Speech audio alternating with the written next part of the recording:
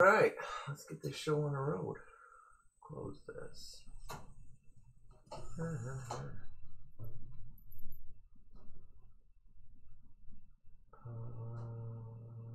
all right. Welcome, welcome to Dave's Arcade. I'm Dave. Oh, back at it. Um, yeah, I did a little stream yesterday setting up for the Buffalo stream, which I think went pretty well. Streamed uh, Sea Witch last night. Uh, Max blew it up. Got, what is that? 300 mil something or other. Killed my high score, so that was awesome. Uh, I played okay. Had a couple good games in there. But anyway, I was uh, on vacation not last week, but the week before. And so I didn't stream then. And then last week was the week of Midwest Gaming Classic. And I had to catch up on all the work that I didn't do while I was on vacation. Um, so I tried to set up coverage, but it just didn't work out. Um, but it's okay. I had it all knocked out and caught up in like, I don't know, three quarters of a day. So, not too terrible. The world did not fall, the pinball world did not fall apart as far as American is concerned. Um, okay. So, solar fire playfield. I need to get cracking on this thing. And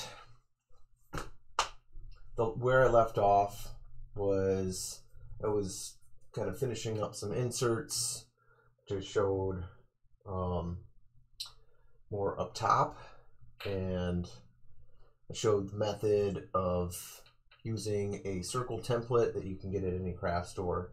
I think I saw that recently on Facebook. Somebody was like, uh, they airbrushed an EM and they they had uh, masked off all the inserts, so they painted over all the key lines. Like, well, what do I use to paint these back? And the circle template is your best bet. Anyway, um, so that's that's all just black, and uh, I use I like to use folk art licorice black. Um, it has really good opacity and um, it's much better than like like this is a really cheap black that honestly it probably won't match if you go to the craft store and get like apple barrel or this delta whatever cheap stuff. It it doesn't work the greatest. Anyway so moving on to i attempted to do some color matching on spot here right. Yeah let me move this around. But i feel like the red is just a little bit off. And i need to grab a rag here. Okay. So as I've talked about before, um, naphtha is your friend on this. You'll need this for color matching. Let me so focus here. Right about there. Okay. Um, so the reason you want to use naphtha is all of your paint that comes from craft store, or almost all of it, is going to be a matte finish, and uh, I think very few are going to be sold as a gloss. Anyway, um, which is fine, but this is the technique to kind of check your work when you're color matching is to put some naphtha on a rag and then you want to wipe over that spot to kind of look at what does it look like when it has gloss over it. because ultimately you're going to be sealing this color in with something, right? Whether it be a, a clear coat or polyurethane or whatever. So um, I feel like the red that I picked last time, this true red straight out of the bottle, was a bit um, too bright. And so I'm gonna try try to find something a little bit closer. And what I'm gonna do, rather than using this area to match the color, I'm gonna actually move over here and use this spot. So that previous spot that we were looking at, um, it's actually a mixture of this purple um, and then this red. And it uses like, so the background color is red, and then they use like a bunch of, um, I don't know, they're not dots, but like kind of squiggly lines of this purple over top. And then, so it kind of gives the illusion of a, of a different color usage. So that that can happen in pinball all the time. Let me focus a little bit better. Uh, right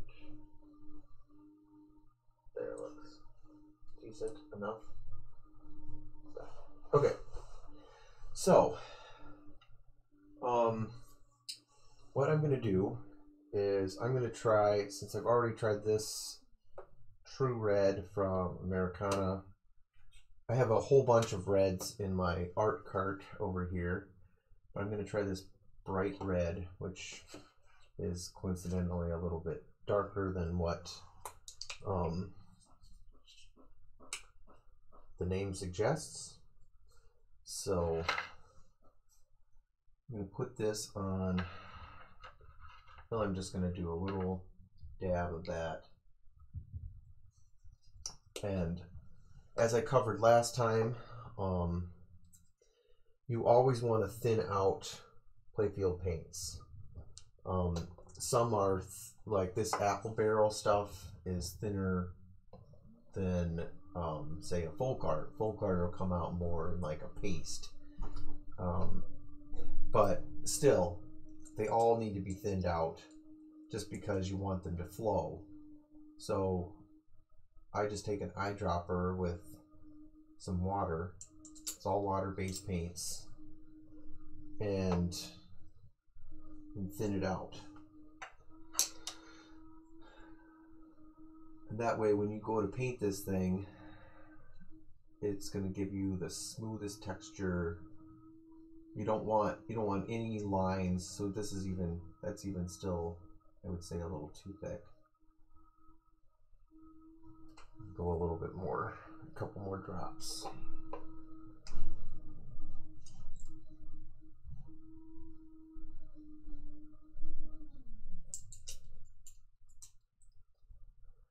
And the, dropper is nice because you can control it. If you need to mix up more, um, kind of count how many drops you need. And hopefully you don't need a whole lot. Like, you know, when you're picking a a play or a play field, it's best to if you can get a game that's what I would call a good candidate. If you're planning to restore it, you know, try to find something with the best quality that you can you can find obviously because then it's less work to touch it up if you get something that's all blown out i mean not that you can't touch it up it's just going to be a ton of ton of work so what i'm going to do here is i just want to put a little little dot right here. If I can get in any closer, show you.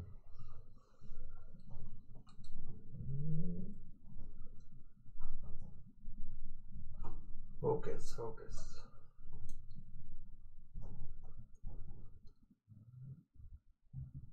Can you still see it? Maybe? That's too far. Okay. That's pretty dang close.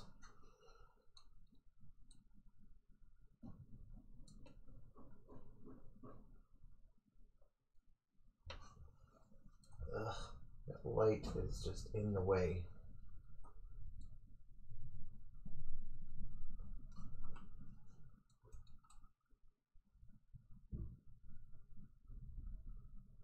To move my hand in front of it.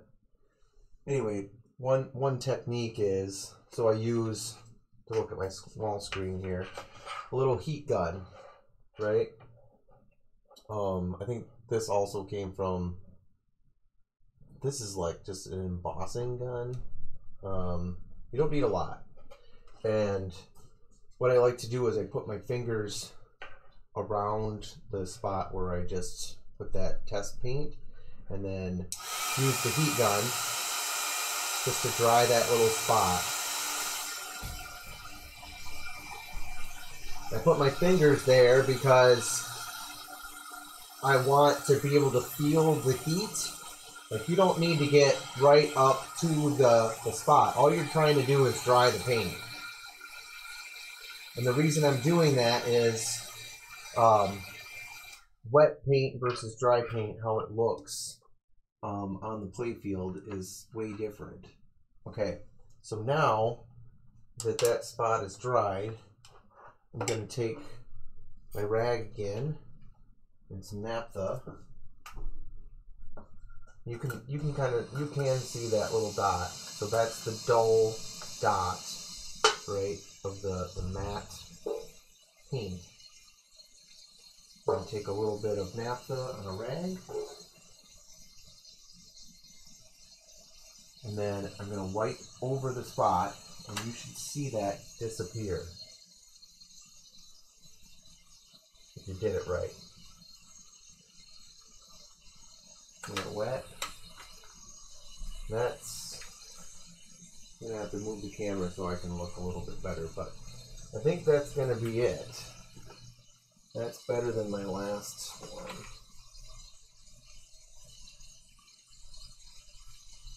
Oh yeah. Much, much better. Okay. I like it. So if that wasn't correct, it doesn't always work out straight out of the bottle. And so that spot that I just did, you just press a little bit harder with your naphtha rag and take that up. No big deal. Okay. So if if that wasn't a match, mm, focus again. Focus, focus. Okay. Um, the next thing that I would do, so you you'd ask, is it is it too light? Is it too dark? Um, so you can always tint it with. You can either if you wanted to to brighten it up a bit or tint it, just add white or black, um, very sparingly as you go. So what I like to do is um, on your on your paint tray, just put like a little dab of white or black, whichever way you're gonna go, and then you just take your paintbrush and just dip uh, a little bit of that in there and just mix as you go and then you're going to have like a gradient amount um, so you start on one end and kind of so if i was using black it, it's going to tint really fast. And you kind of move your way through the the puddle of, of paint and then you have like this will be darker red over here and then lighter red and then you can kind of use from that um, I guess swatch of, of paint to see where you end up as far as uh, darkness to it. And then, you know, another thing to consider is if you remember back to I don't know, elementary school, um, your color wheel, right? So your primary colors are red, yellow, and blue. And theoretically, you should be able to make any color in the color wheel out of those three colors. Theoretically. So, which means that you can never make a red. You can never make you can never make a red more red or a blue more blue or a yellow more yellow. So I as you can imagine, I have the most of those colors in my art cart. Um, I probably have, you know, 20 different blues and 20 reds and 20 yellows.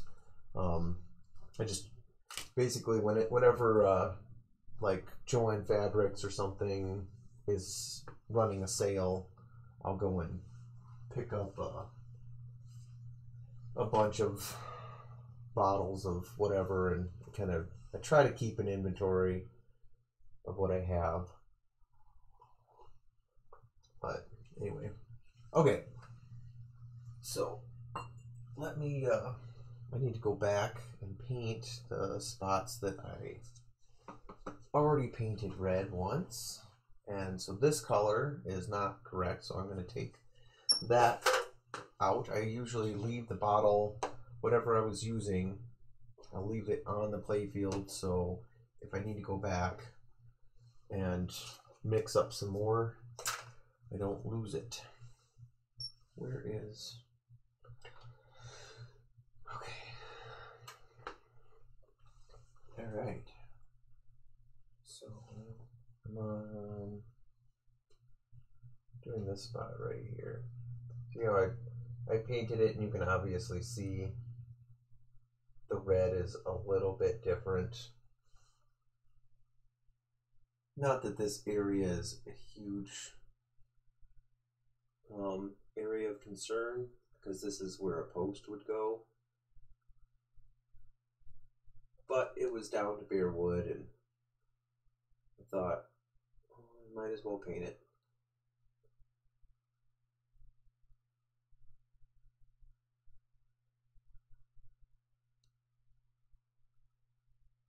There would be a plastic over this too.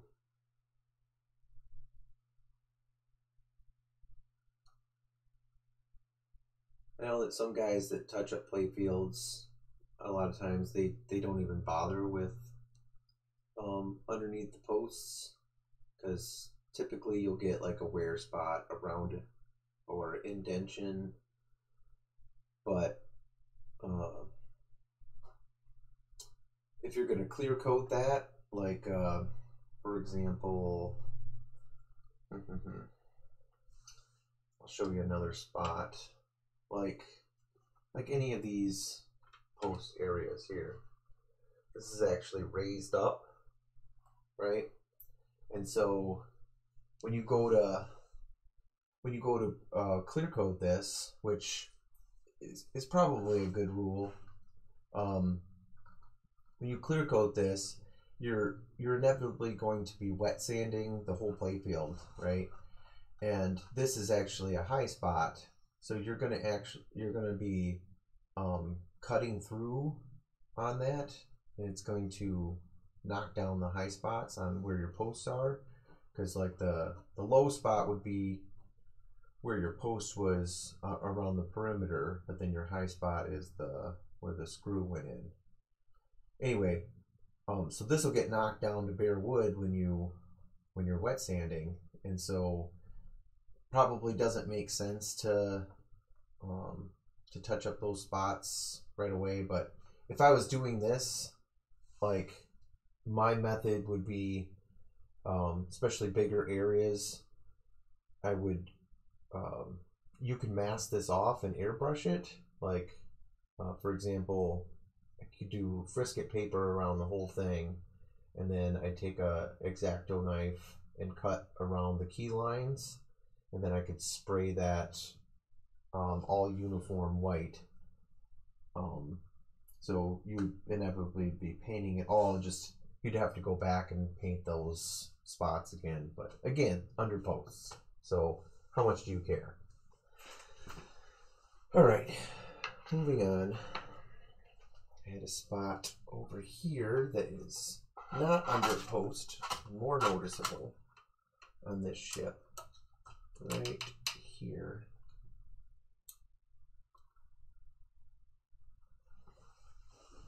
Is that focus good? This is the spot. Right there. Focus, focus. Mm.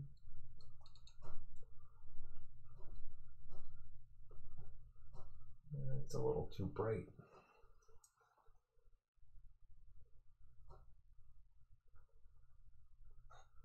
Okay.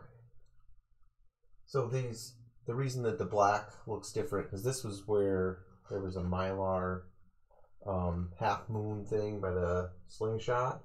So all this black, that was touched up with um, just uh, black paint.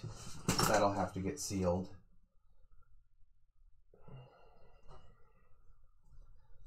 So I need to do really just a red spot there. Already did.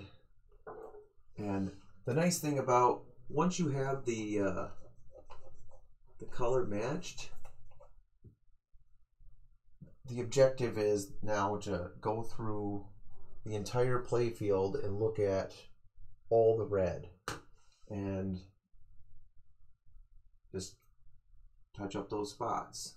So in this case, I'm actually gonna, um, because remember I was talking about there's a purple on top of this. So I'm gonna do the red and then later when I match that purple, I'll need to go back and kind of paint some squiggly lines over top of this.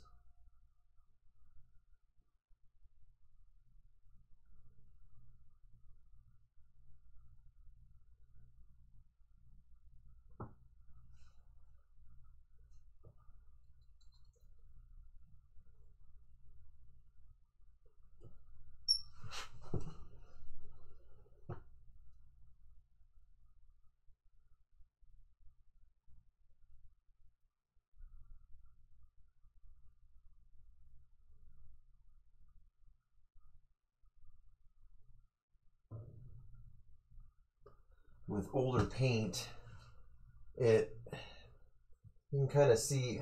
Let me uh, try to get even closer here. Get like right down on this thing. I need to get a camera that has some zoom. Okay, all those like kind of white spots in the red, that's paint that came up.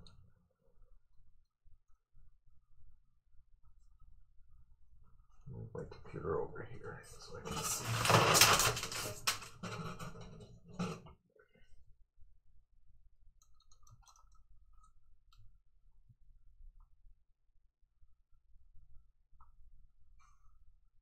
Still too bright. Yeah, so all those little spots. Come on, focus. Other way. There we go.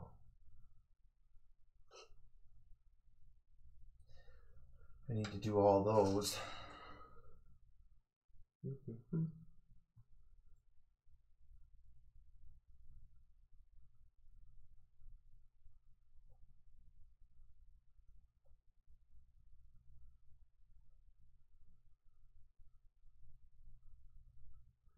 And one thing you can do, uh, you can just like wipe it away with your finger too to fill in those kind of crevices.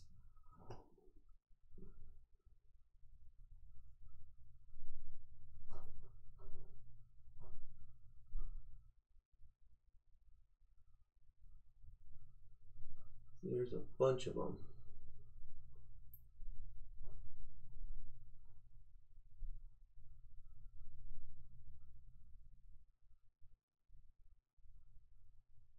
It's already looking better.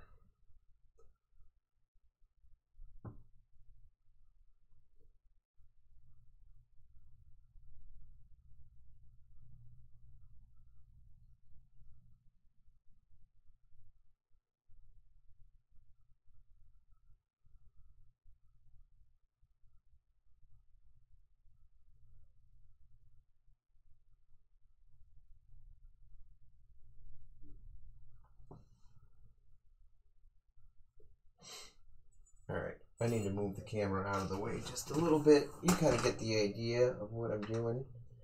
So I can see. I need to be able to see.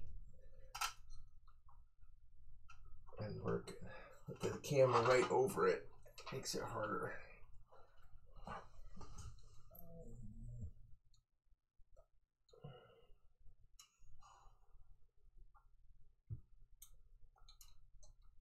There, that's probably a better view anyway.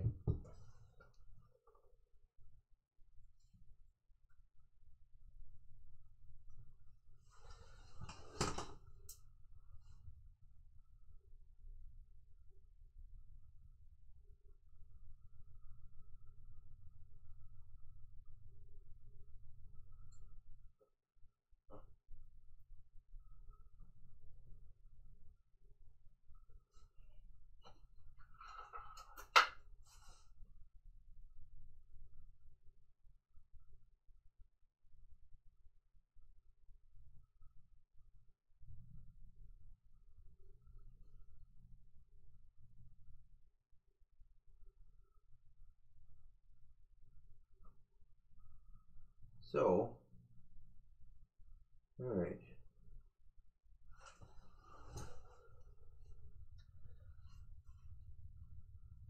a little bit longer, a little bit more here.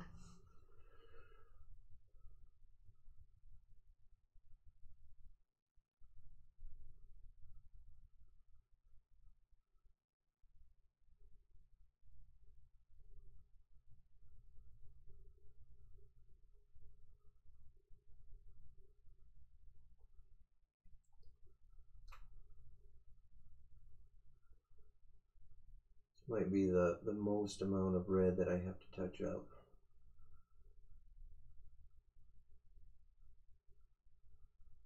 But luckily it's kind of random. Like, you know, none of it really needs to be uniform right here. It's just sort of this like, I don't know, uh, whatever space cloud of something, or maybe it's an explosion. I don't know.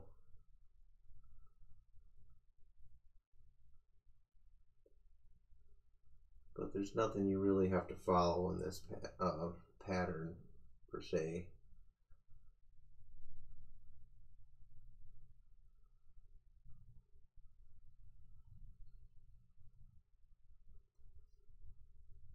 When I get actually this this red here, so this is actually the bottom of this spaceship. So I'll have to go back through with some black and kind of define some of these lines. But that's about it. No big deal.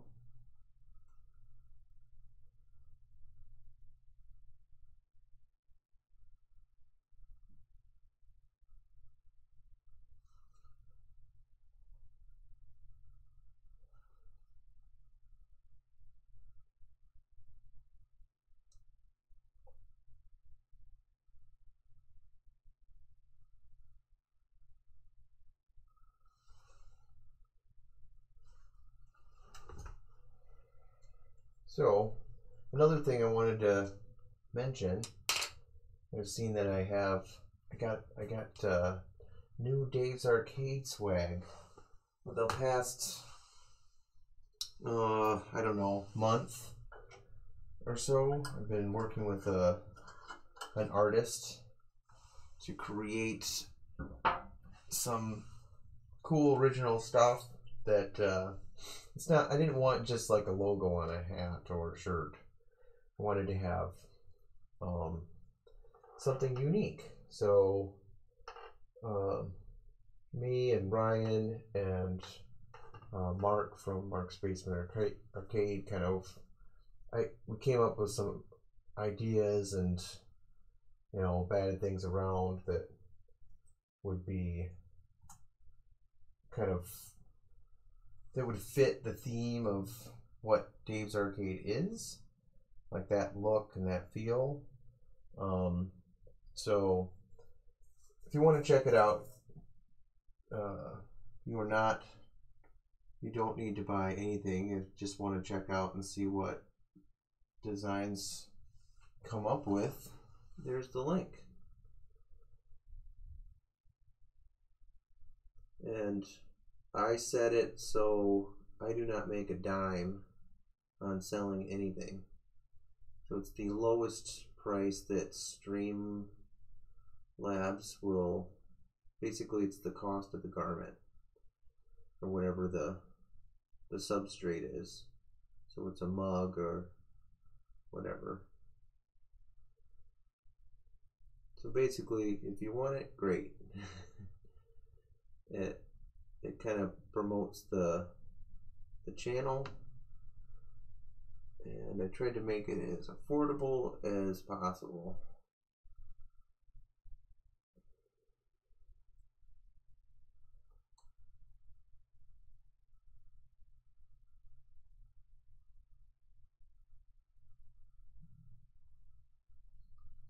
But it's fun. I think I'm gonna do maybe do two more designs.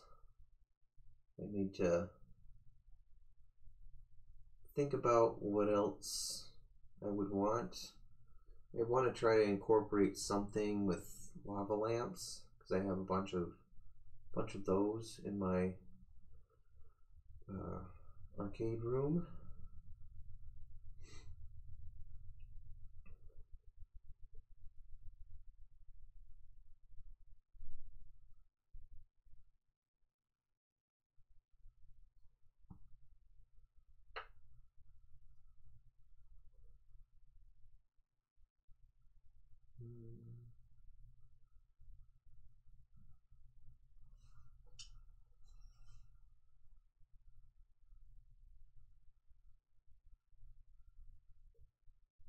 I think the the designs turned out really nice. I had I'm wearing the the um, wizard shirt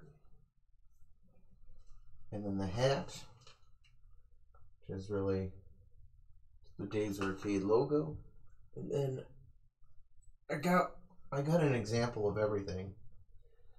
So the other other thing I got was a mug and then this one has the mad scientist art on it, which is pretty cool.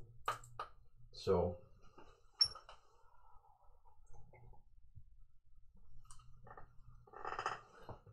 fun little project.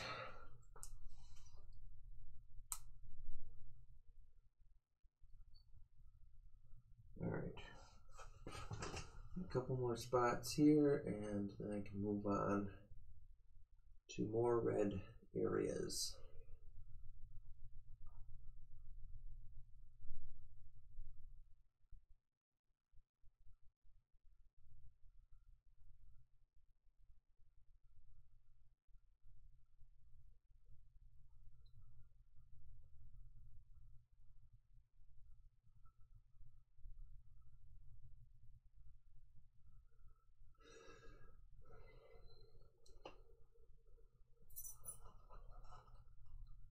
Lots of fine detail in this, which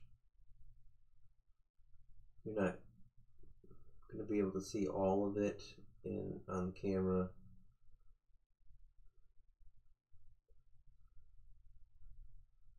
But I guess the nice thing is because it's because it's darker, you have a darker red and a and black. It's you're maybe that's one thing that's it's not uh, super noticeable because of how busy it is. Um, so you don't have to be super precise. But I think I'm happy with that. We move. Can you see the spot? Yeah. Couple of spots up here. Mostly just planked, little planked lines. All right.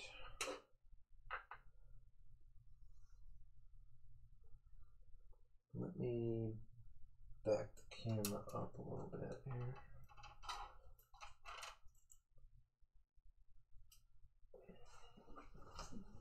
And I want to kind of scan through the playfield and see what spots need a little bit of red.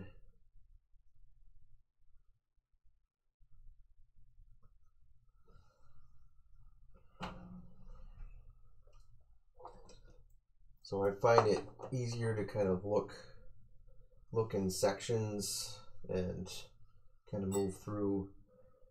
The more thorough you are at this now, the less you know you're gonna as you go through you're gonna continually find spots that you missed. Then you're gonna have to mix up the color again and it's better if you can try to get the majority of it in one pass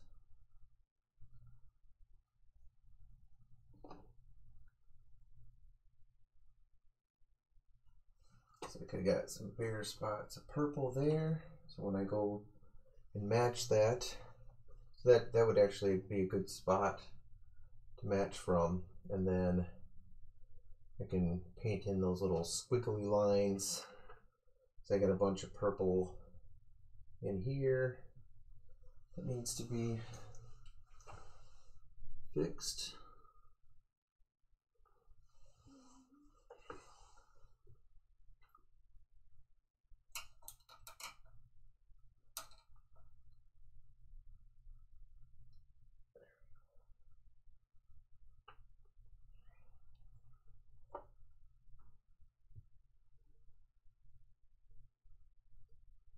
And also, uh, when you go to paint, like especially if you're, you're kind of moving around, I use I use my hand to kind of rest. Right, I can't tell you how many times I've set it down in some paint. So just be aware of that as you move through. So that's why it's good to kind of work in sections. So I'm I can paint this area and I move that way. Because if you move this way, you set your hand in the wet paint. And then you cause little smudge marks that you have to clean off and fix.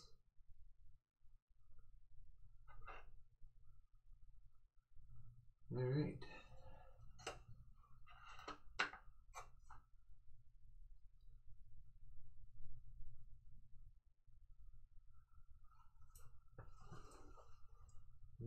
It's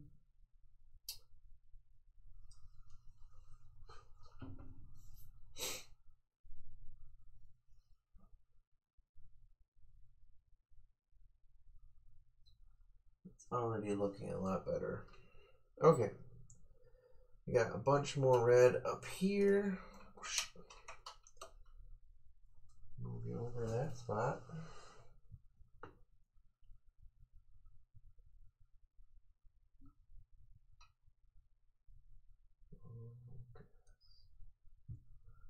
can get in a little closer.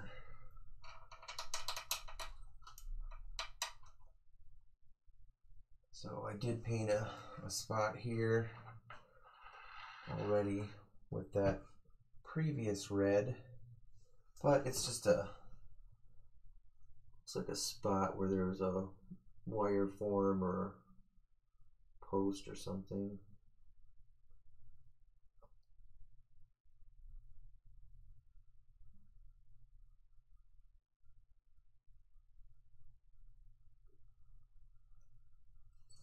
This is uh this is a shot up to this lock shot here. So got a ball trail path. You can see where kind of wore away little chips here and there.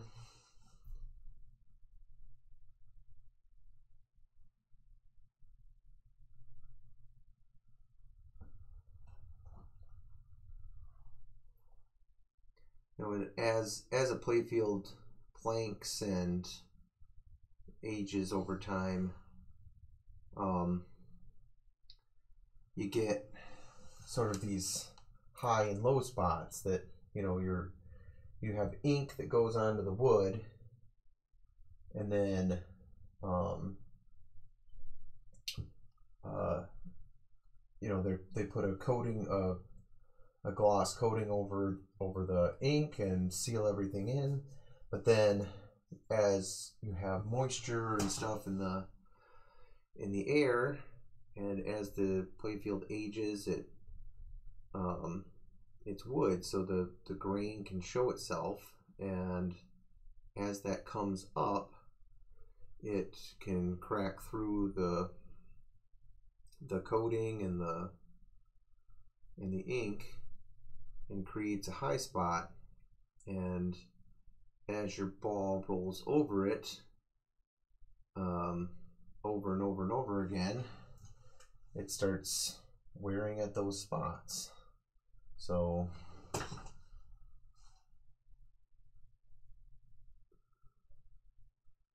back in the 80s I they didn't really put much if anything as far as like a coating on it they had like a different mentality of uh, playfield wear is what we have today you know not necessarily it was a it was a amusement equipment device right no, nobody had these in their home. That I mean, maybe super rich people or something, but for the most part, they were on location, and they they were designed to to take quarters and provide amusement for a certain amount of time. And so they only needed to last so long. I'm sure they, they didn't even have that mentality like this is going to be working for the next, you know, 30, 40 years like they currently are. So having a playfield that lasted forever was not probably not in their their thinking, their thought process.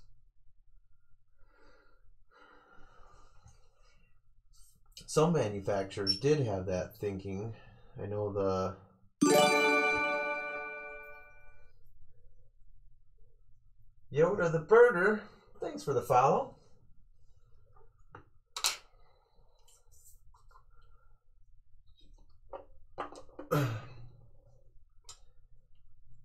so yeah, I think the um, I mean, it's pretty prevalent on on American-made games.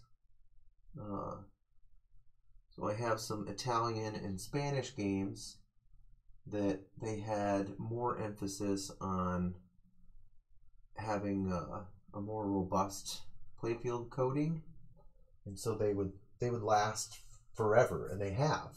They've their playfields look fantastic to this day. And typically you just have to clean them up and polish them and that's it. But uh, any of the Bally, Williams, Stern, Gottlieb, they all had a similar mentality. This this game is supposed to last for you know whatever a, couple years and then it gets stale because new games come out. People don't play them anymore, and they, you know, as if you've been in pinball long enough, you know that there are some operators that don't take care of their games, keep them running, so you get it just things start to not work and they they don't want to fix them well people aren't putting money into it so why would i bother fixing it? Well you know double-edged sword there. Maybe if it worked people would put money in it but you know but then new stuff comes out and people want to play that i don't know this game is very much Battlestar Galactica uh, knockoff. So it, you know, it's it's what's popular at the time. Star Wars is popular, and um, so there's lots of space themes and different titles that they try to capitalize. What's what's what's popular in, in well, pop culture. Whatever they they could get you to put a quarter into the thing. All right. I'm pretty happy with that. I do have to go back and do some black here in this spot. I'll do that later. Okay. Moving on.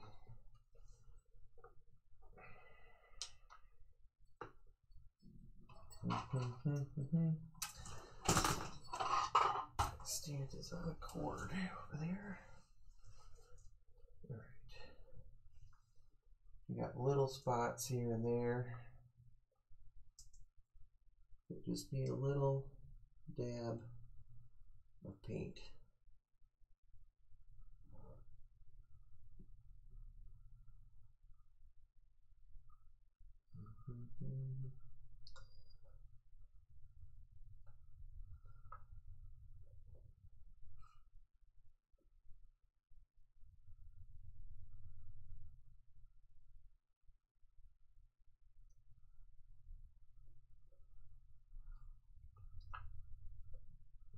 Well, you might ask, well, do you really need to do all this? Like, no. This, I mean, you really, you could just do a shop job, and yeah, there's a few wear spots here and there, but it's gonna be, it's gonna play fine. I feel like I can make it look that much better by just doing just these few touch ups. You know, around, even if you just, if all you did was touch up around the inserts, like, because that's very common. You get insert wear, if you just do that, just black, that goes a long way to making the playfield look really nice. Oops. I already forgot a spot here.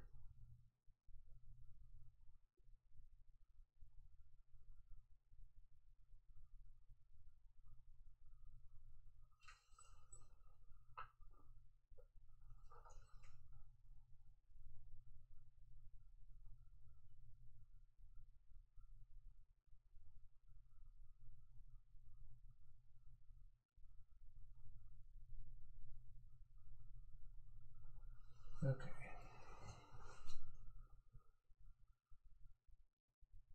Somewhere around this insert. Make sure you can see this spot. Nope. For it on here. Nope. That's where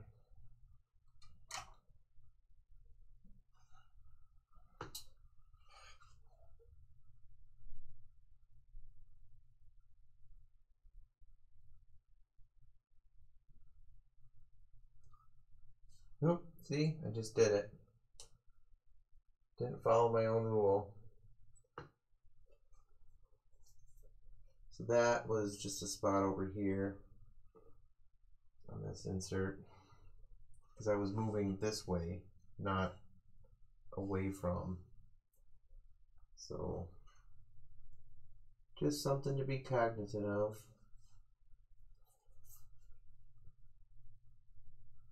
Mm-hmm. Getting closer be done with red.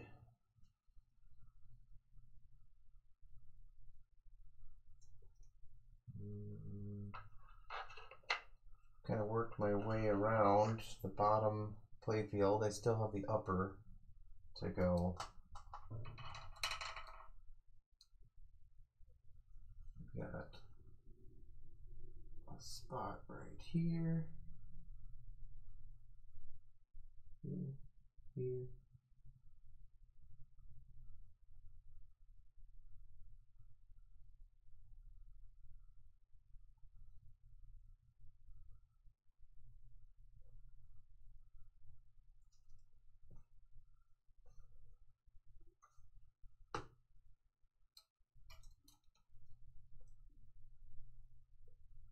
Got one kind of little corner here.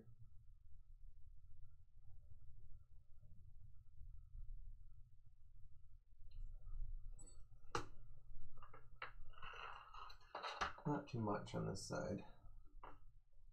It's like down below the flippers, you don't get much for playfield wear because it just kind of rolls in the outlane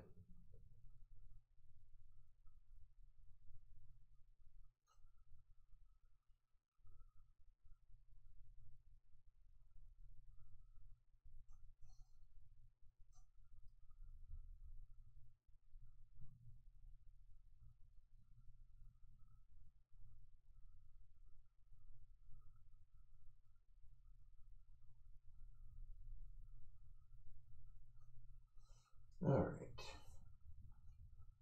I think I'm good with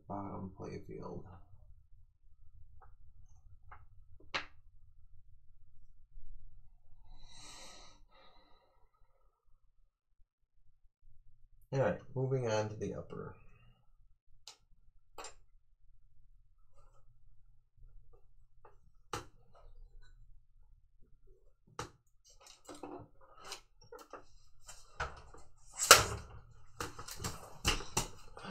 I'll move this stuff out of the way.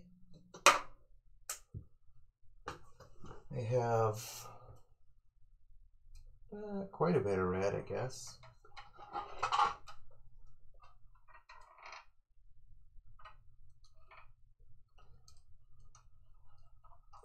Oops. Sorry for the camera movements here. Tighten up my gooseneck. Okay.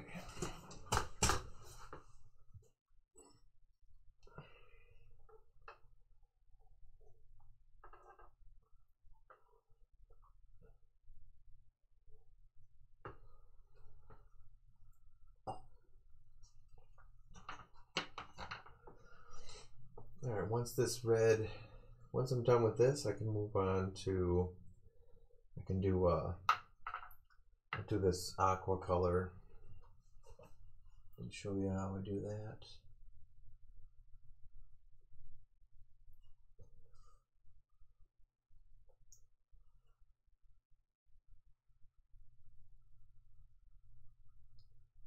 Honestly, color matching is really, it's not that scary.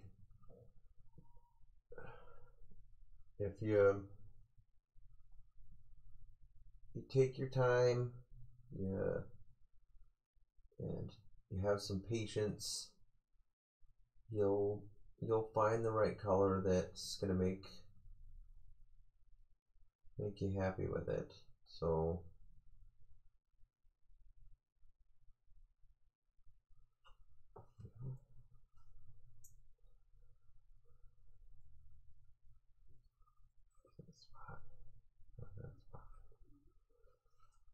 It's got little flakes in here that I need to fill in.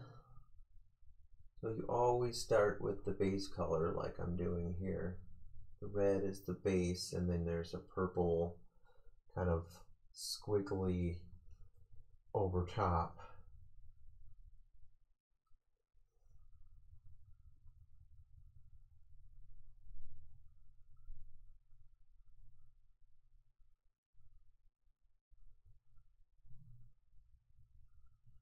And that's probably all I'll really do. Like for this one, since it's so busy, I really, I don't really need to go through, unless it's like this spot here that I touched up was bigger. It was down to bare wood. Um, this one I might go through and just put a couple a few squiggly lines and stuff in there to make that busier so it blends in. Um, but you just look at the art around it and like what what's missing, what what do you need to fill in so it looks natural?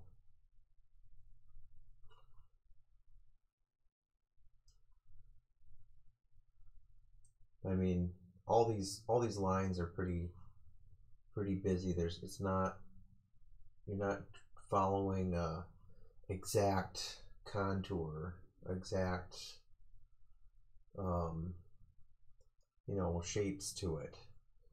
For example, if it was like if it was one of the the ships that has specific lines to it and geometry to it, that you'd have to follow along a little bit neater than that. But this one you can kind of just sort of fudge it in there. No one is going to notice the difference. What they will notice is the the, the missing paint. So like this spot here. So that's that's very much noticeable. See all the little little flakes and little little spots where that ball trail was. So as I paint this in, that's all going to disappear and I really don't need to pay too close attention to like, you know not painting the the little purple squiggles. No one is going to notice that.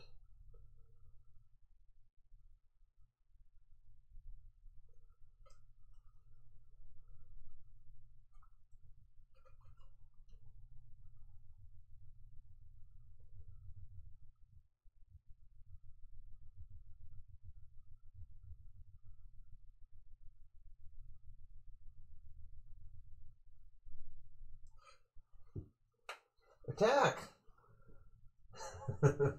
well, I didn't drink last night, so my hands are, are steadier. Which I feel like I played better. But, you know, there's no way I was catching Max's, uh, whatever it was, 3 million or that's what seven seven digits.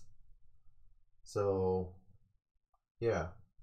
Three million whatever it was. Crazy score.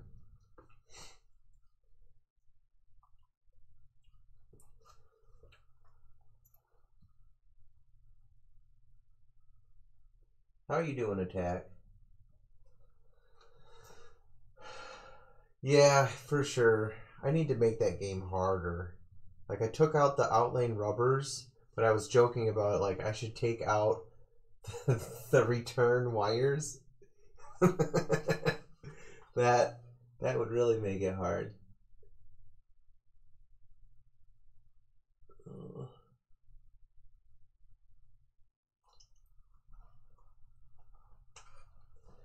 You know, and and as I I do um I do uh, competitive pinball uh, occasionally, but when you see like super duper good players, it it certainly is discouraging. You know, if you're if you're just kind of starting out and trying to get better and you see somebody that's like a freaking beast of a player uh, that's why I need to be like in a a D division or E something like that. I'm not gonna ever compete at the A tier.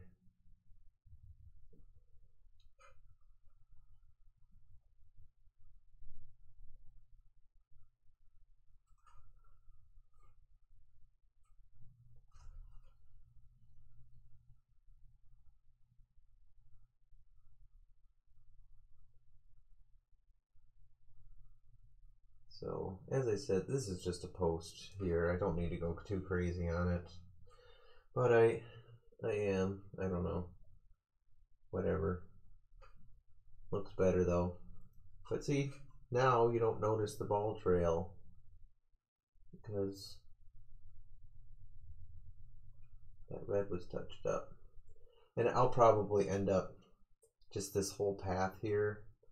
I'll probably end up sealing.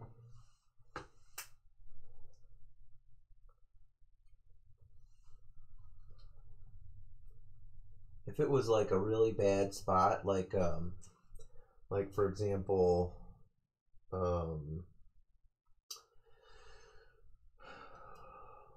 like this this is a kick out spot so if you really wanted where am I? Er, sorry.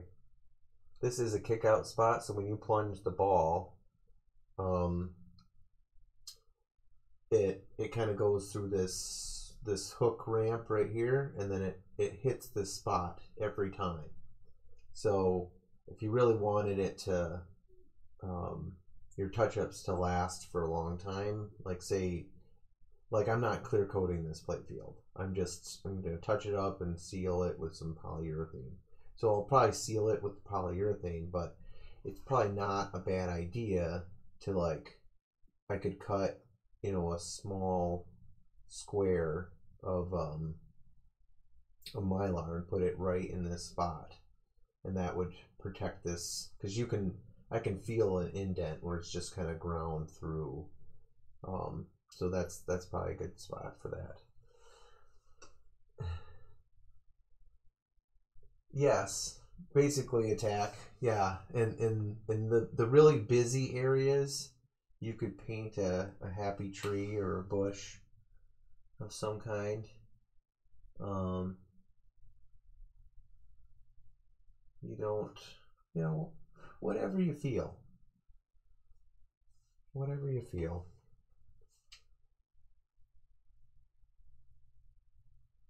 I don't know if uh, bushes are gonna or trees are gonna survive in space though. I think they'll probably freeze up, but I mean maybe there's a space bush, right?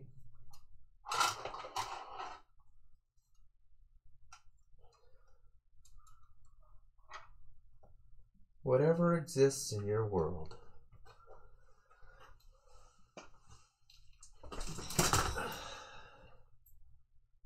Hey, you know, in my space, there are trees in space. That that's the dimension that I live in.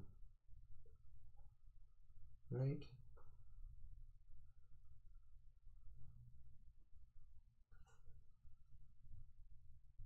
Oop, oop, oop. Alright. What other reds? Got little bitty spots, nothing too crazy. Really just the kick out spots. And then I can move on. Mm -hmm.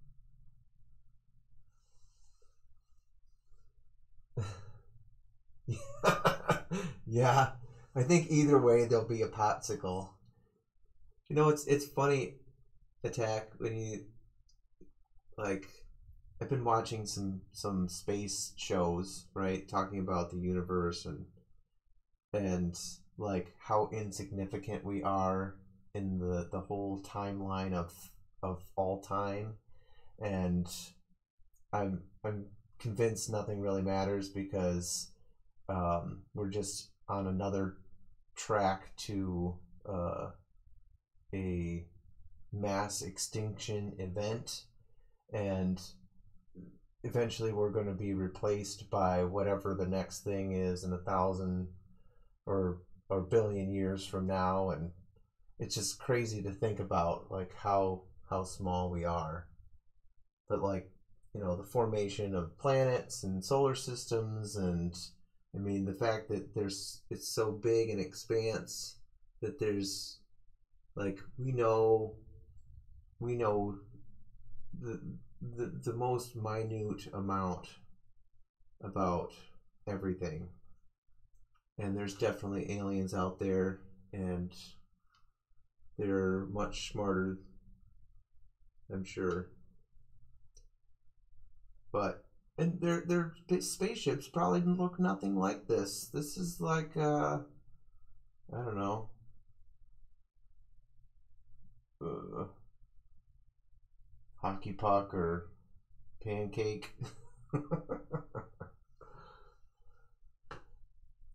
yes, absolutely. It like you, you just think about all the stuff we're tooling around uh, doing, going to our jobs every day, you know, stressing out about money and just things that don't even really matter.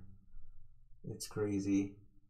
You know, a, a, a freaking uh, solar flare could, could kill us all in a second. And we're worried about what uh, what the latest celebrity did or didn't do or it's crazy.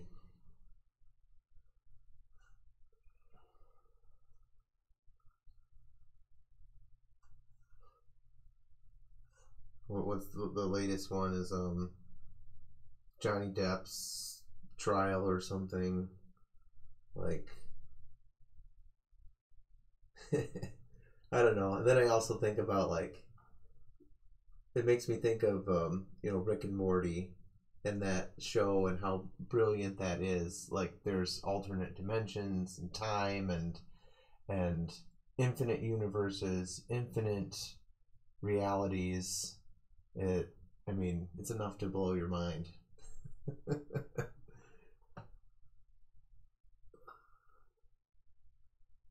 you definitely need to be smoking something to watch that show.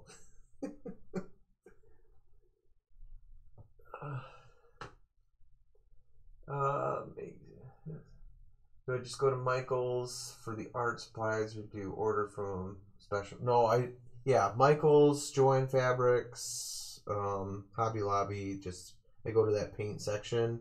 I'll show you. Um, so this is my art cart focuses. And whenever stuff is on sale, so I'll, I have like all these different reds, blues, yellows, whatever, and I always take like a little bit of paint um, from the bottle, and then I'll smear it on the cap top, so you, you can kind of use that as a baseline when you're looking at colors, um, trying to match because sometimes they put a sticker on there, but it's a printed sticker with, you know, the printer they used. It's not necessarily the paint in the bottle. But, yep. You don't need to get crazy paints. I know that some people do. They get super expensive stuff and airbrush everything and like honestly, I can I can touch up things with a brush much faster than I do have an airbrush and it works good in certain situations. Um, but you need to thin it out. First, you need to match it, like I've already shown, and or I'm gonna I'm gonna do with this this next color here. Um, you need to match it, and then once it's matched, you have to thin it out enough so that it will spray out of your airbrush, and you have to mask everything off. Otherwise, you're gonna get uh, overspray on everything. So it, it really it does not make sense unless you're doing a bigger area. So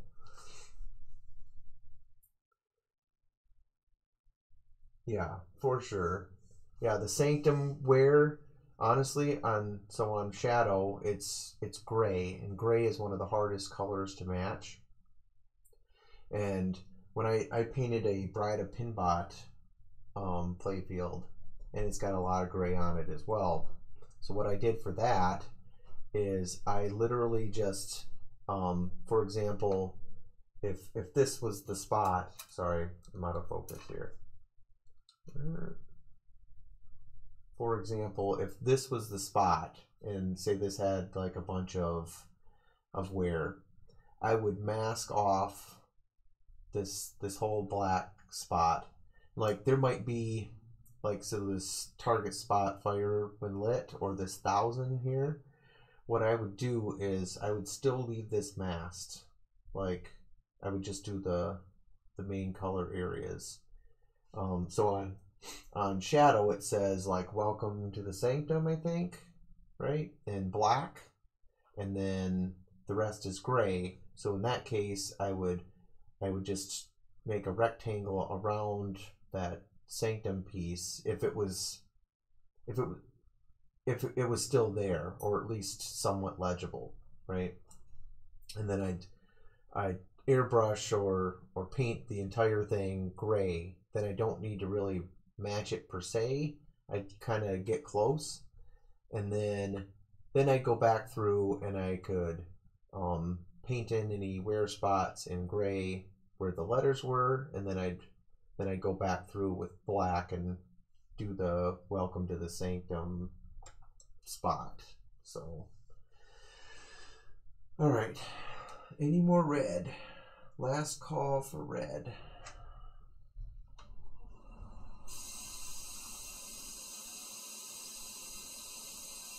I don't think so. Up there. Oh, one spot hiding. Ugh. All right. That sucks. so this is probably gonna get covered with uh, plastic, but I want to just show this because it's crazy. Okay, so this is one where I probably just, if I was clear coating the playfield, maybe I would do it. And I feel like in this circumstance, it might be, um, like I could do a very small amount of red, but here's the situation on this. So uh, this is the like a flame tail from the the ship, which doesn't make sense in space anyway because there's no oxygen. So how the hell would you have a flame tail, right? But in this universe, apparently there's fire. And in all space movies, right? There's always explosions in space. That can't be right. Okay, so this particular one, the base color is white. And then the next color is yellow on the outsides. Kind of goes through this flame. And then on top of that, you now have a gradient red that goes over top of the whole thing. And it gets like kind of thicker on the sides and then it thins out in the middle. And it's a huge pain in the ass to try to get some of that stuff perfect. So I'm pretty lucky that it's not terrible. I have one other spot over here that I'll I'll show you. But if that was if that was completely blown out, that would be that would be difficult to touch up. So um, what if there's just a couple of dots missing, you can put some of those back like so, but you have to be careful in how big you make these dots. So if you if you're in a spot where they're supposed to be small and you make them big, it's going to stand out. You kind of have to follow the grid pattern.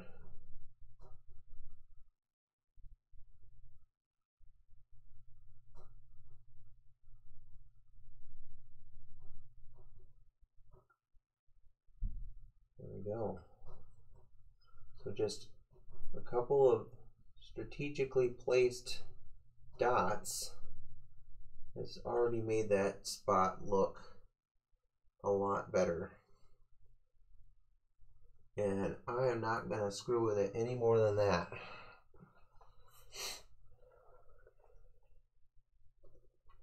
Okay, there's one other spot here. It's not red. I mean, it's associated with it, but um, thanks, attack. Um, so this one is a similar situation, um, but here's the base yellow. Uh, great, my light reflection is in the way. Okay, here we go. Similar situation, but I need to paint the yellow first. So I have a bare wood spot here. So it's okay because I didn't have to really tint the, the red that I used. Um, so that's fine. But I need to there's not a whole lot of yellow on the playfield. Anyway, I'll need to paint that yellow first, and then I can add those couple of dots. But this is one circumstance where it, it doesn't make sense for me to paint the dots in now. I'll just do it later. Now, if this was, if that was all blown out, um, that whole flame area, which I had or I had happened before with an Alien Star playfield that I did. It had a similar kind of fading effect like that. And um, there's like four ships in a row that looked like that had that and like one one and a half was like completely missing and so what I had to do with that, rather than trying to paint all those little dots, um, I ended up airbrushing it and doing a, a fade effect.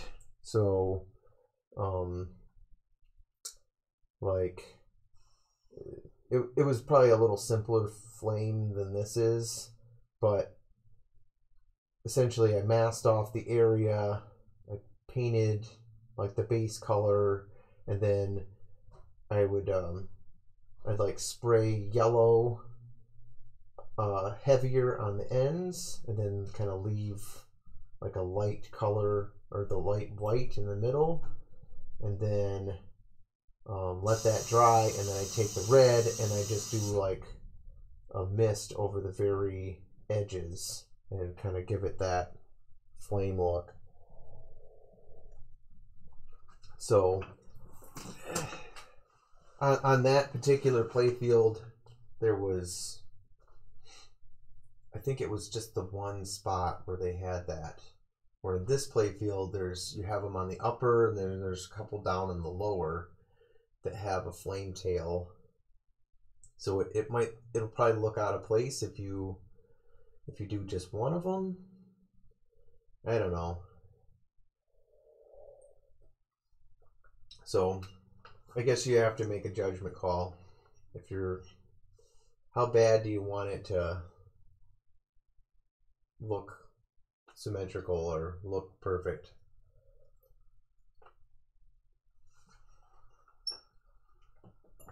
All right. I'm on to this aqua color. All right. So this one is a gradient fill as well. I need to find. Okay. Let me zoom in on this a little bit more. So you can see.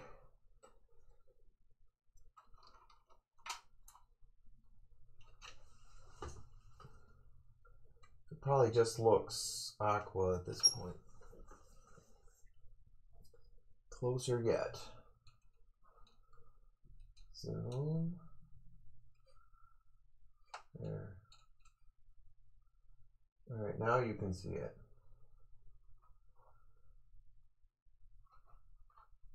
Kind of. looks a bit a bit different on camera anyway. But you you can kind of see the the dots that I'm working with. Where's a better spot? Be able to see them up here more. Oh yeah.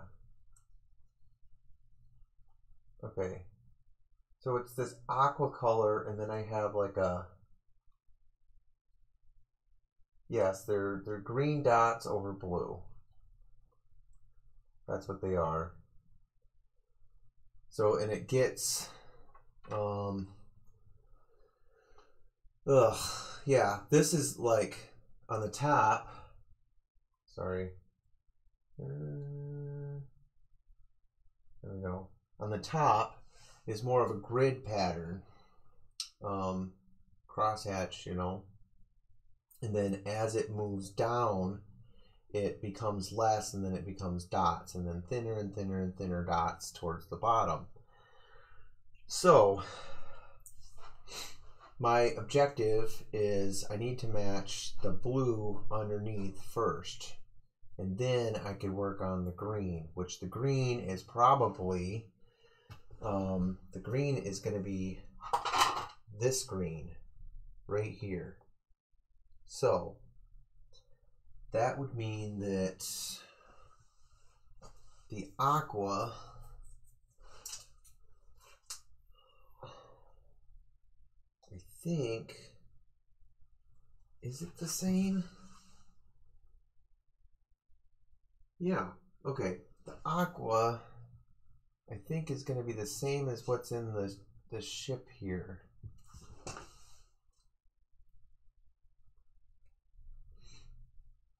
Kind of messes with your eyes to look at one with it and without it. Was that? There was a trick. Like to take a uh,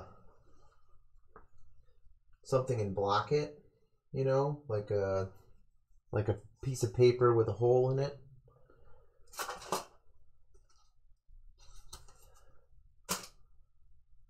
Ugh. I thought I had one here.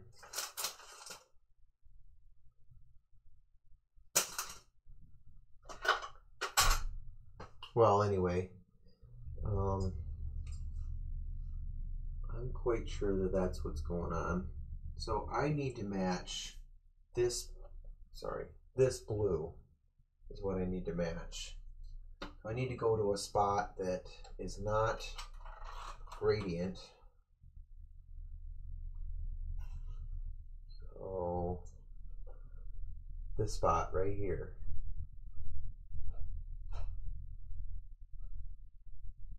Yeah, and I gradient fill attack they use that for.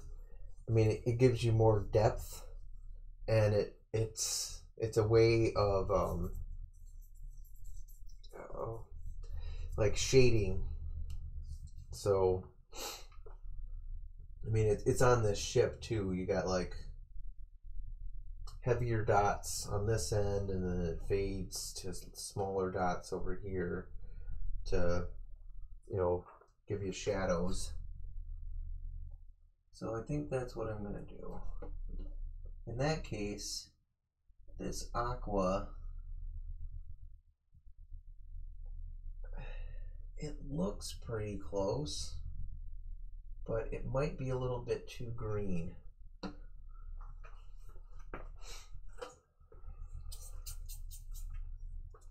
Here's a Langa. I don't know.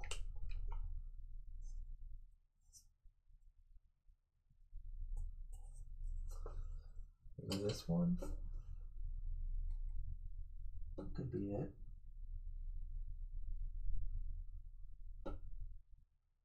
That's a put that in the maybe pile. Something a little bit more blue. Maybe turquoise. Let's see what this looks like. That might be too blue, too dark. Maybe I could lighten that. Still maybe. What else? I think those are my closest candidates. Okay.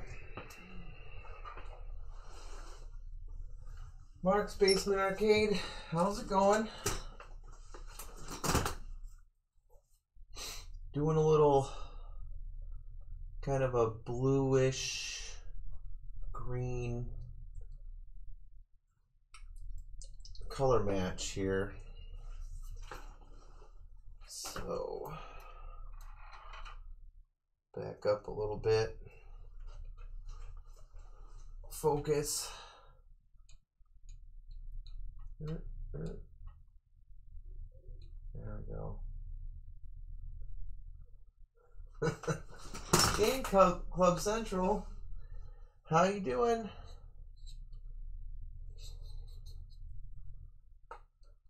I think I could go. That might not be. A, it might be a combination of this one and this one that has more green. That's what I'm gonna do. These two. Uh, mm, mm, mm. dang it. You see that okay?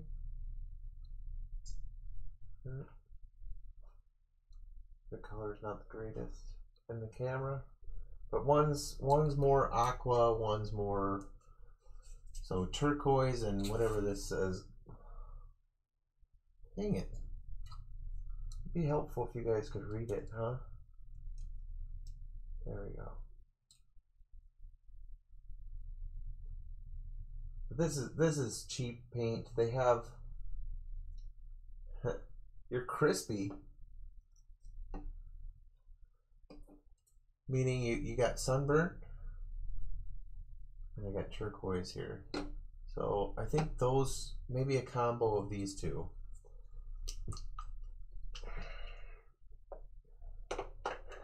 All right. So on my paint palette here. nice. You're good. All right. A little bit of blue, turquoise, and then I'll do a little bit of this I don't know. Is it Laguna? Lagoon? Lagoon? Some sort of watercolor. I'm guessing.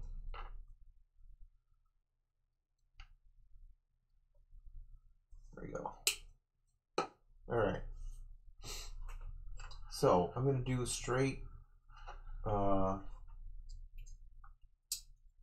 straight color first.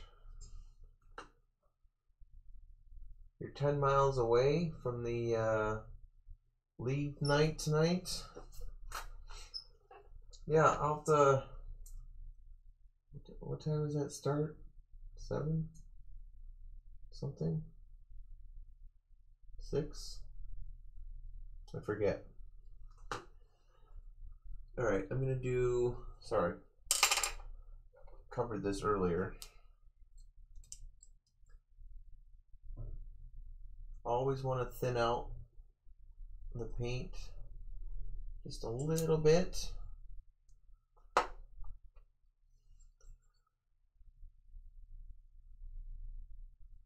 Start with a dab of blue.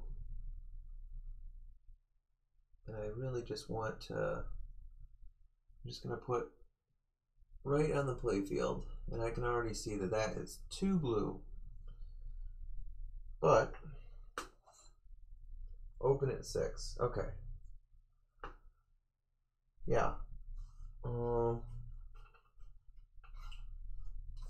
I'll see if I can make that happen. For sure.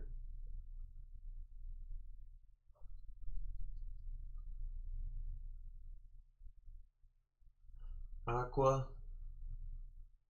So that it's somewhere in between. Let me get closer on both of these.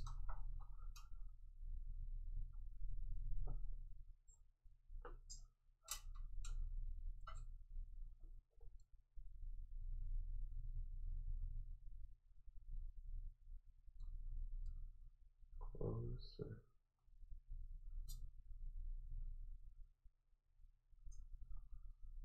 There we go. Okay.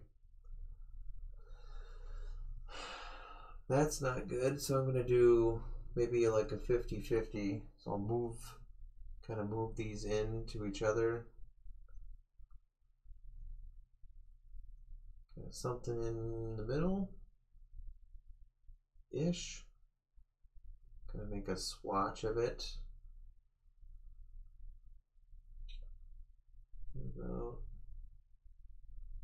There. So I know the the blue and the thin straight is not going to work. So I'm going to wipe those off.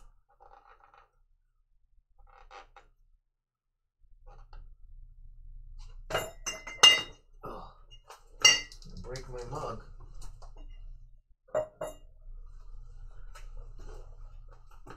Closer here. Take this one out. I'm not using that.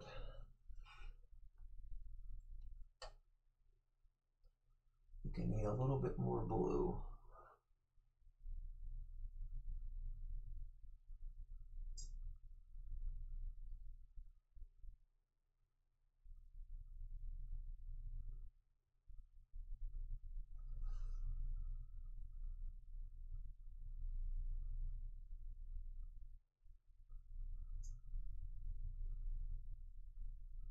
Might be pretty close. Okay. So now I take my heat gun, put my fingers over it so you can feel the heat. Not trying to scorch the playfield, just drying the paint.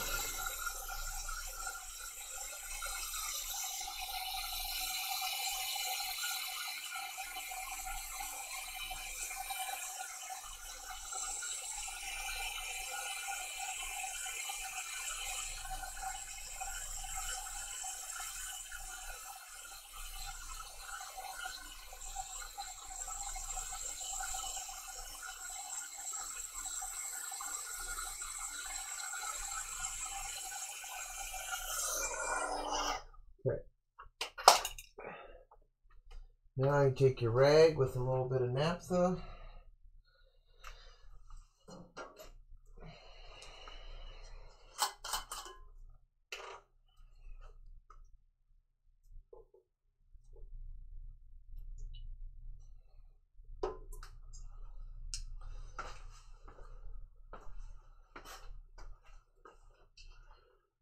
Try to get in a little closer so you can see.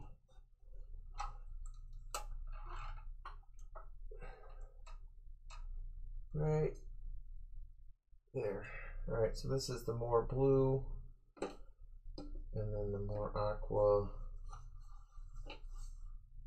and I still need something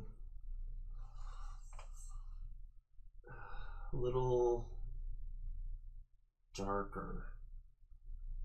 Okay. So not that.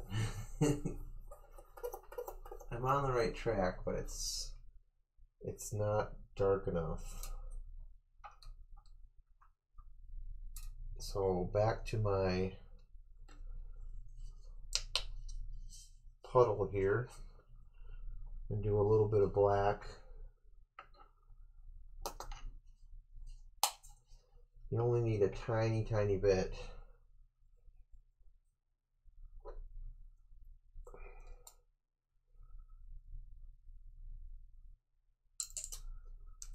So, mix this up a little bit with some water.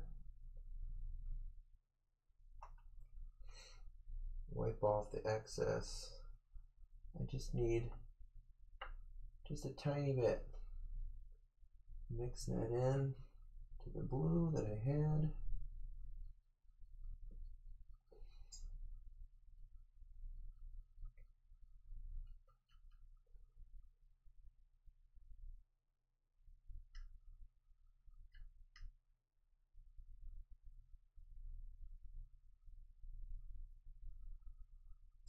Try that again. Oh.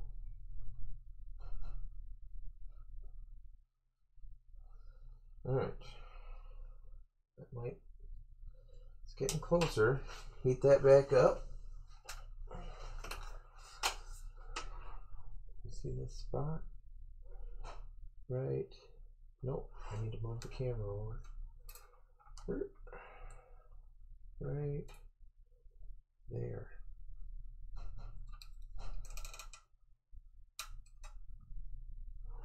Right.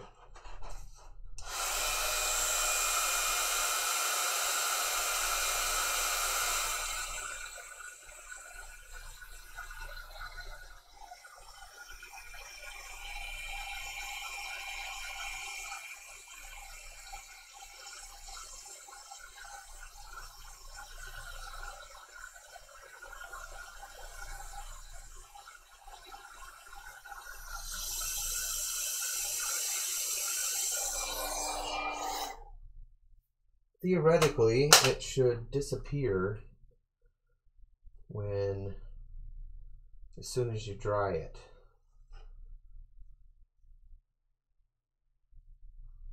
That's pretty dang close. Put a little bit more naphtha on here.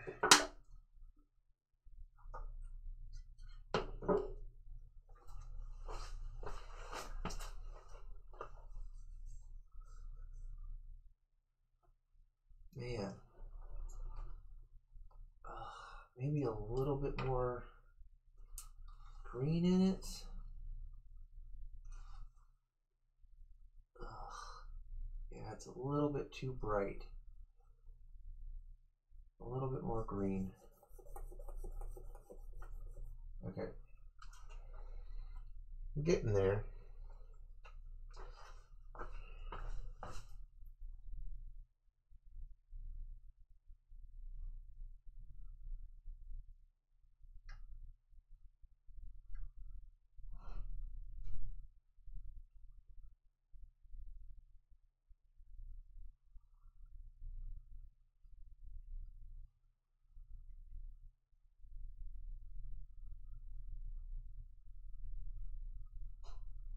Let's see.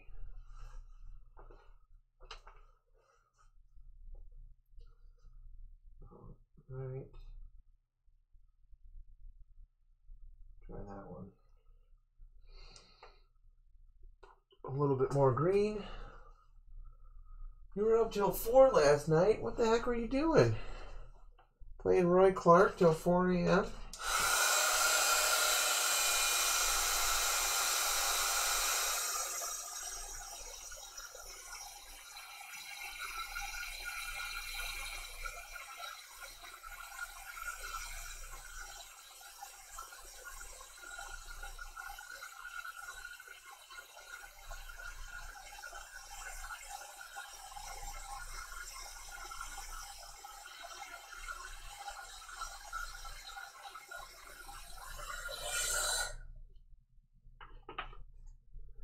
YouTube shows.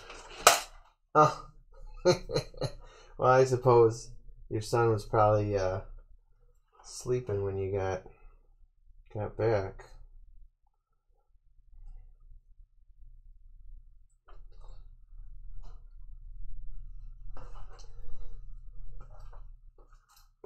I would. Well, you could just go back and watch this later if you need to put yourself to sleep. Watch Dave play Bob Ross on the playfield. That'll put you to sleep.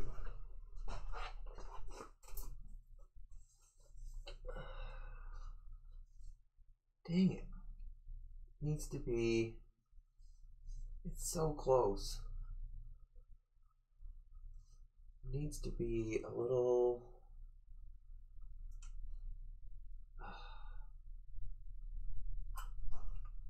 What is that? Like a little darker? Just a little bit darker.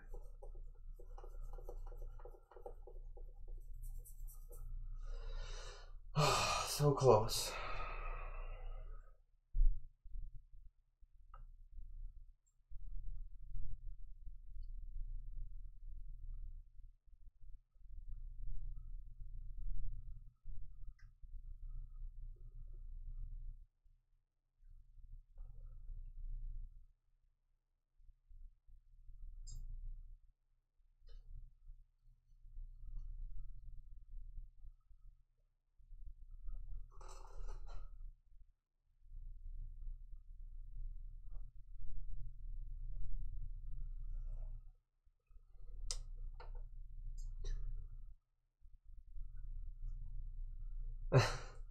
a Bob Ross wig.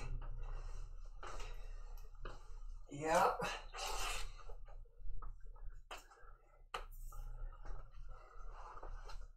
I, I think he's he he died, didn't he? I'm pretty sure Bob Ross is. He, he was he was on like public television for a long time. Pretty sure he's dead.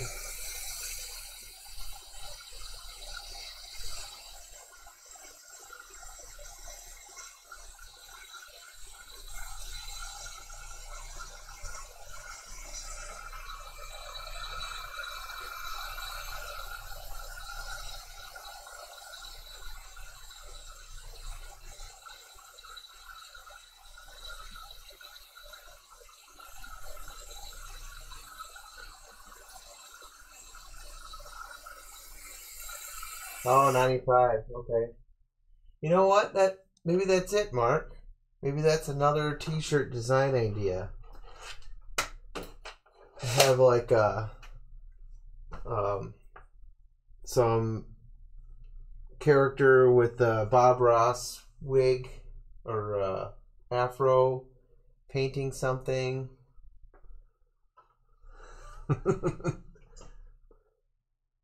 Yes, more shirts. What's going on, Bartok? Yeah, it could be, uh, I don't know, something to do with painting. Like, maybe I'm painting. uh, I want something to do with. I, I want to incorporate something with a lava lamp, and maybe something with painting would be nice. Um, man, that is. That's pretty dang close here. Ugh.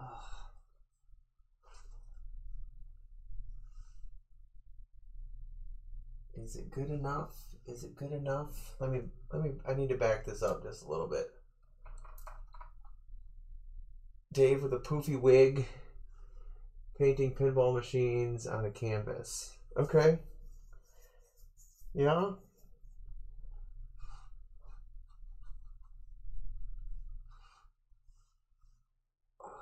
Oh then it's so close. What do I need here?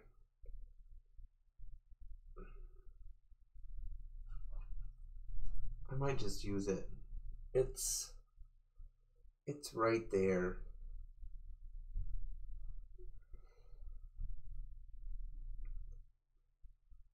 I think that's gonna work. Maybe like one one dab more of black.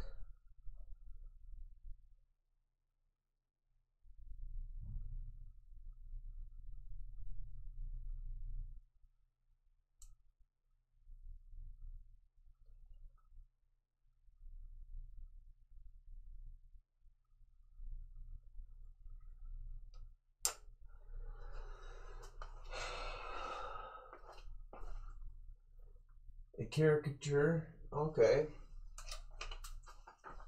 So like a caricature of me with a Bob Ross afro painting a pinball machine or something.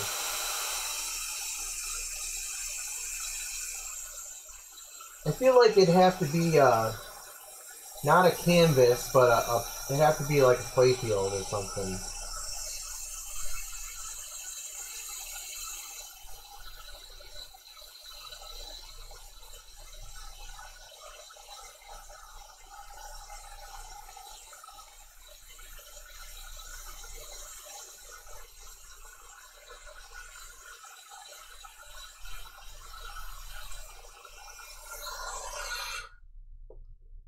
Maybe he could do something that it's like not yes. By the light of a lava lamp? Okay, okay. Yeah.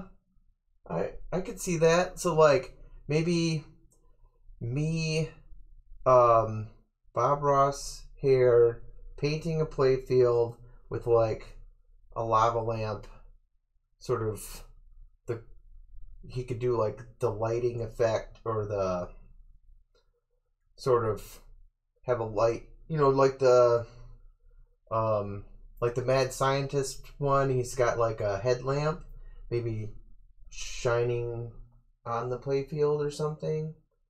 Be kind of cool. Yeah, I'm going to call it. I think that's it. All right. Paint it. Hmm. Playfield on an easel. Okay. Okay. Maybe.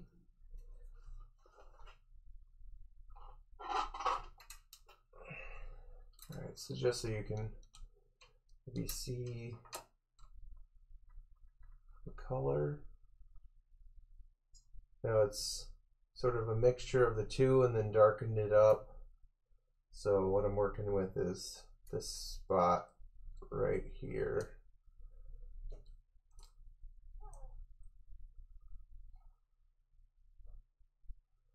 But which I think what you know a thing I was thinking of was what if what if the playfield was not an exist what if the what if the playfield was like a it could be some sort of psychedelic type playfield with lava lamps on the art that I was painting. Maybe could that be something? Like uh, think of like a farfalla or something, or I don't know, something that has lots of colors, farfalla esque. I mean. Um,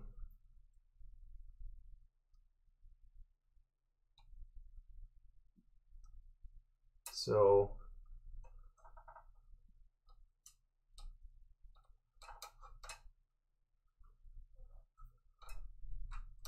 that? It's still not focused great, but let me move my chair.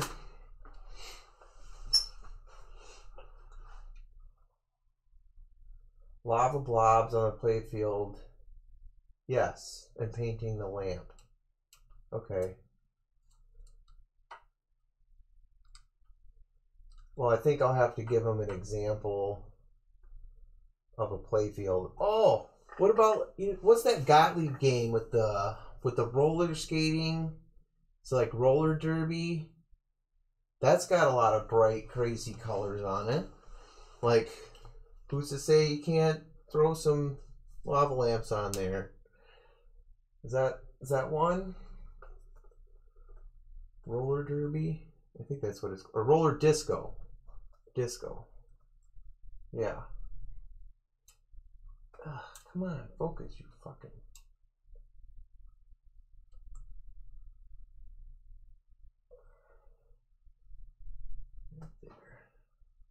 Yeah, maybe I'll get some some example pictures for the guy for roller disco and like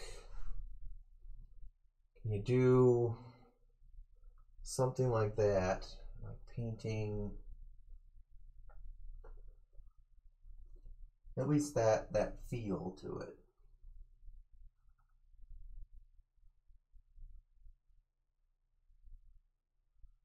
A little bit more water in this. Yeah.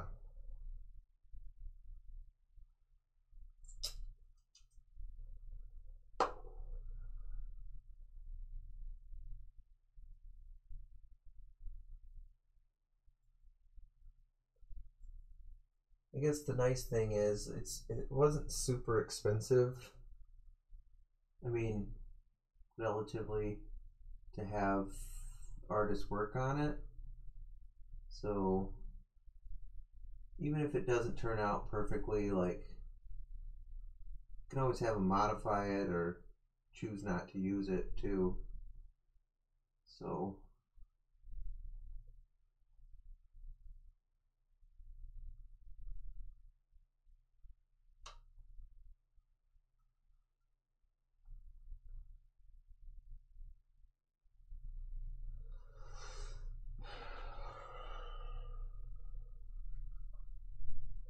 see this one? No, that's in the light reflection. Sorry, I need to move this a bit so it's out of the light reflection.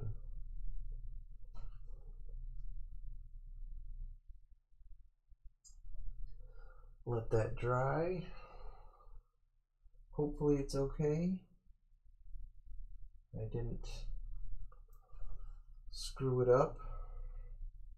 But I have to paint green, so that's the, the tricky thing.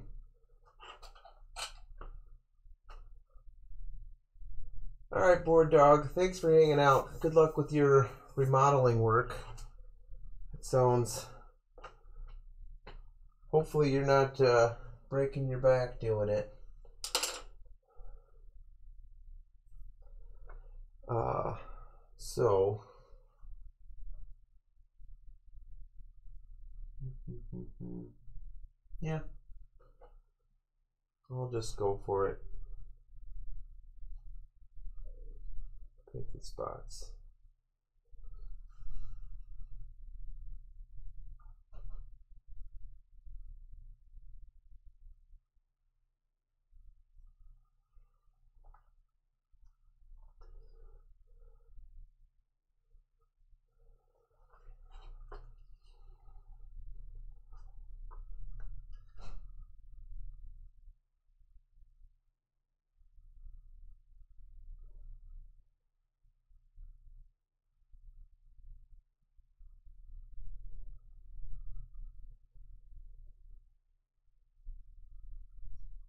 that goes around.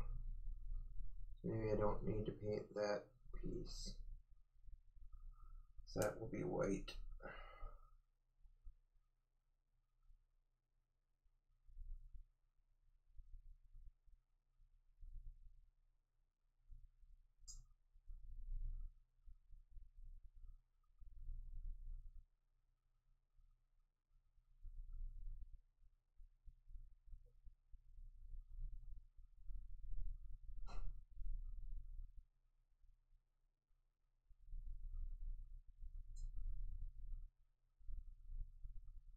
All right.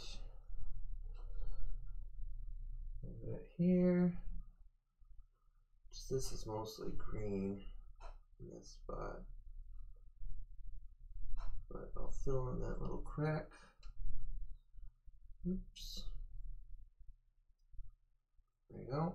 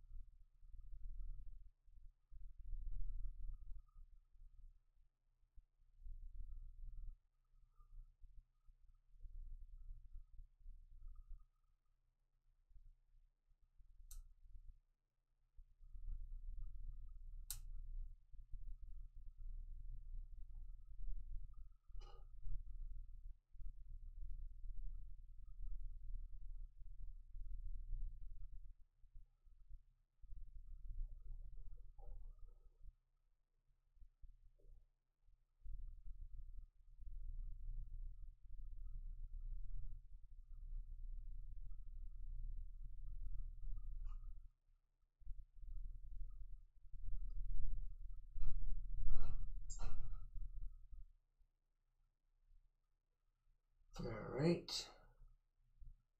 I need to do. Can I see? Nope.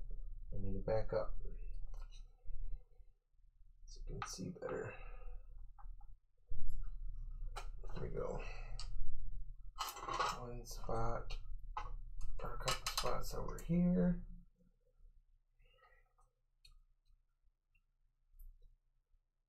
One right in here.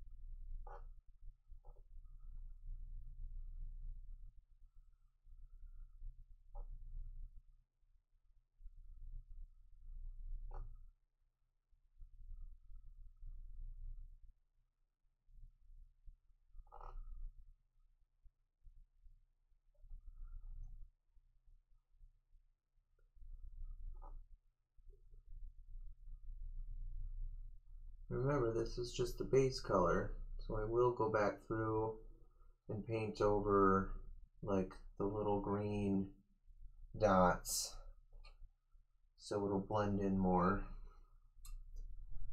So it, looks a bit off right now, but it will, um, that's what the gradient fill does, is it messes with your, with your eyes.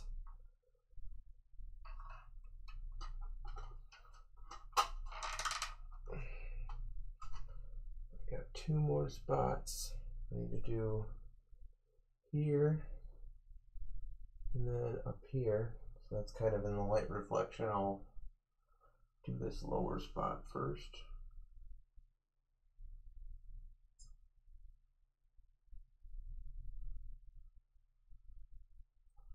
Same thing with black lines, any key lines I'll paint over once this is dried.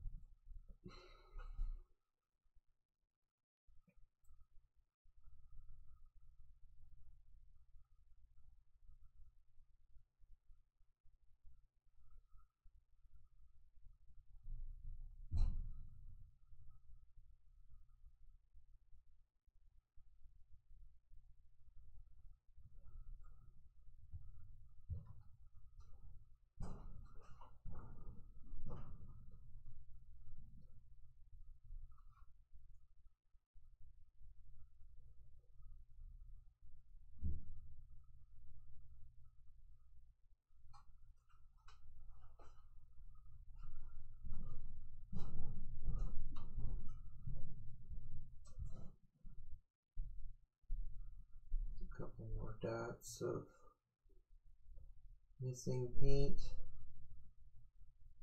You can always go back through and once the base color's on, I can I can do the, the little green dots. So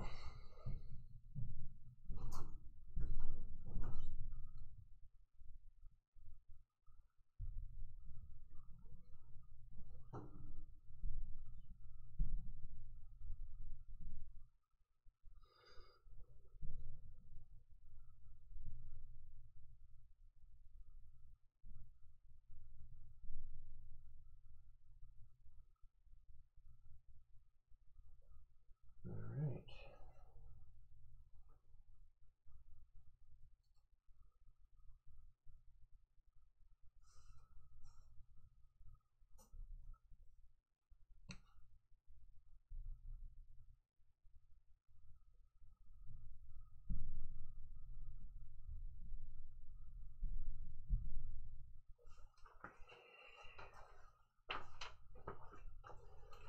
So,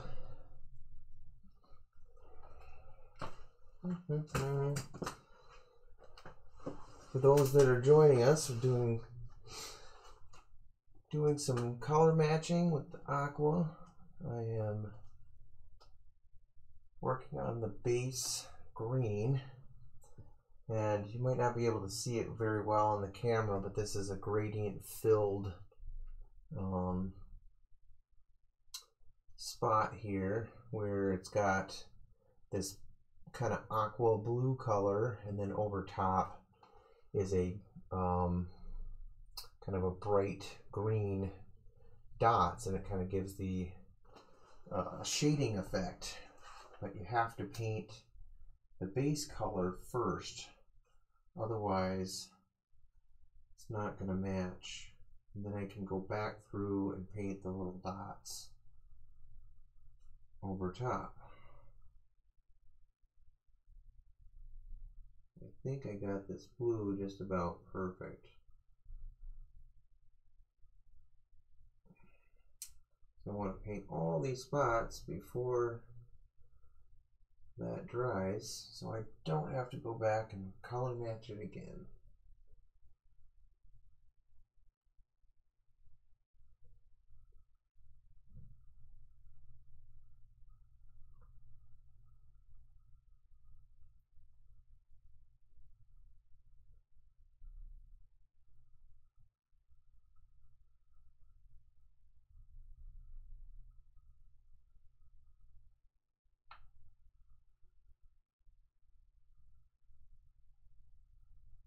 I don't know why I just referred to myself in the third person there, joining us, meaning me. I'm the only one here. I, I got a sleeping dog on the couch there. He's pretty tuckered out. So that could be us. But Alright, any other spots?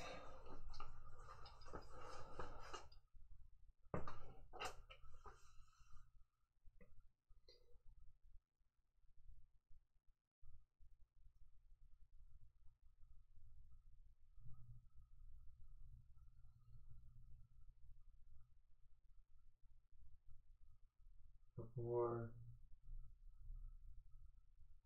blue, blue, blue.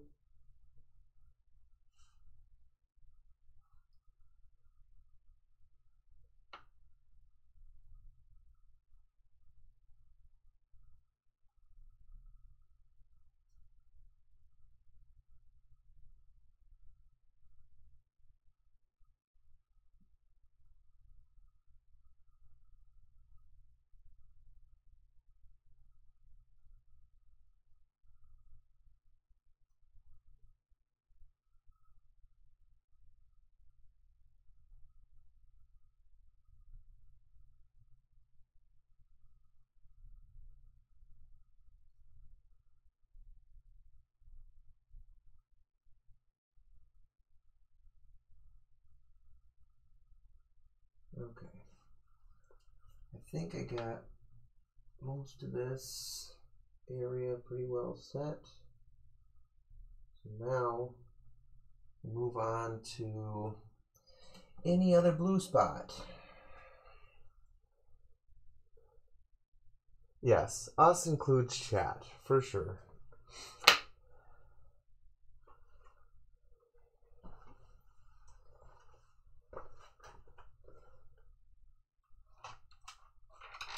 I don't want to sound like uh, there's some podcasters out there like they they keep saying like we like the royal we you know sounds reminds me of uh, uh um the Big Lebowski. He's like, where do you want us to go? It's like us. It's like you, you know we as in the royal we? it's like I'm the, the fucking bag man.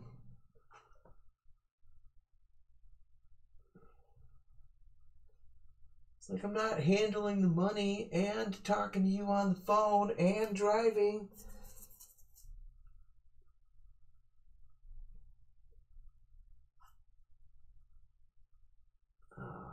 Such a good movie.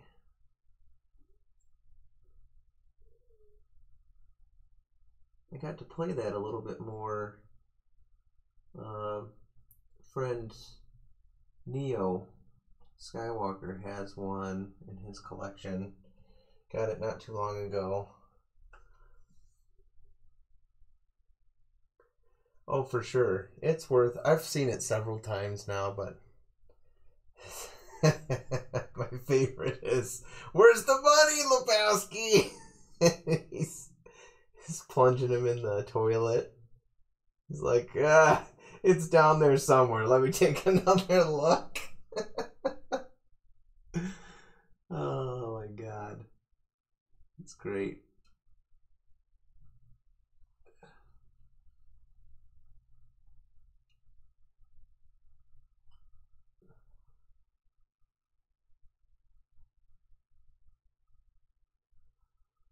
Nihilist, I believe in nothing.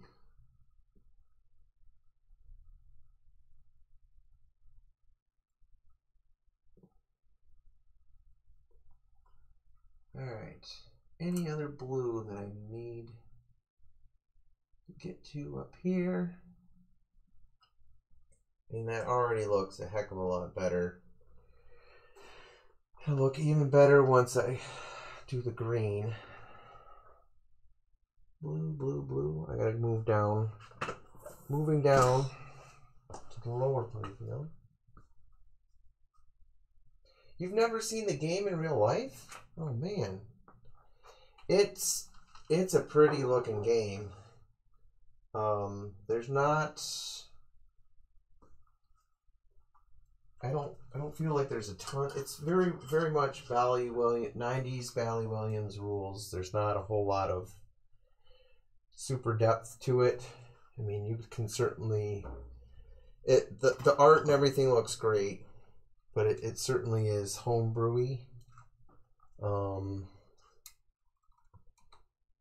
so, you know, eh, would I pay fifteen thousand dollars for it? No, I'll go play it at Neo's. But, no, people like it.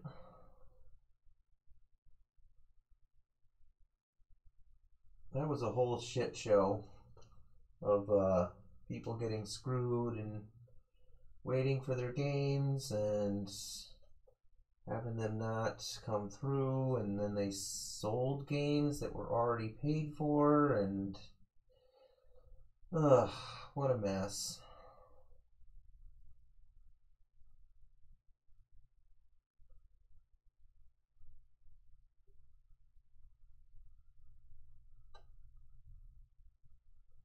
I mean, there's already enough shit stains on pinball industry.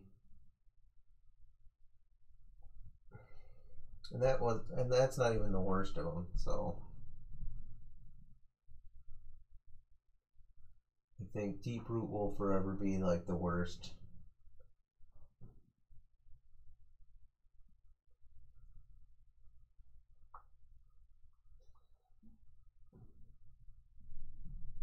CCR in the current state.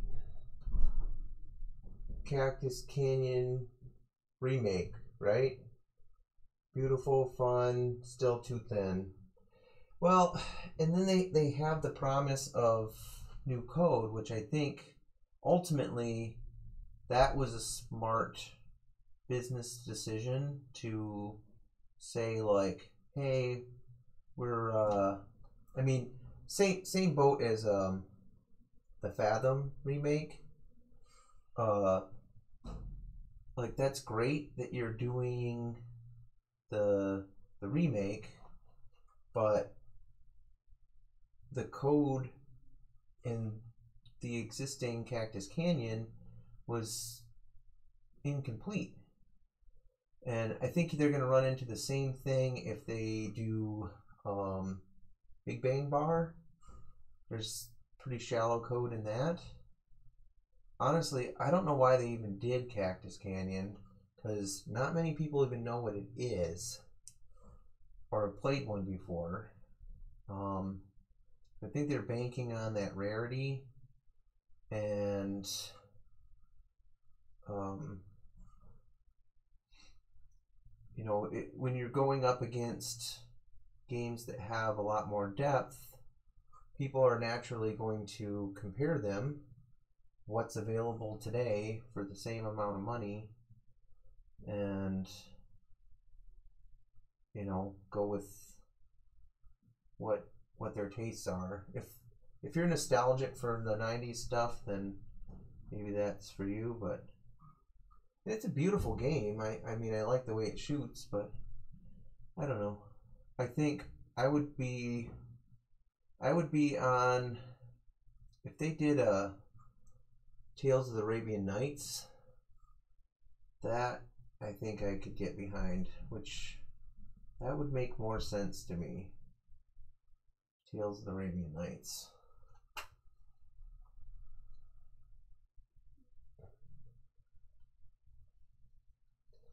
And I heard I heard that the the code was pretty far along with the Lyman Sheats. Um, so they might just have to hire someone to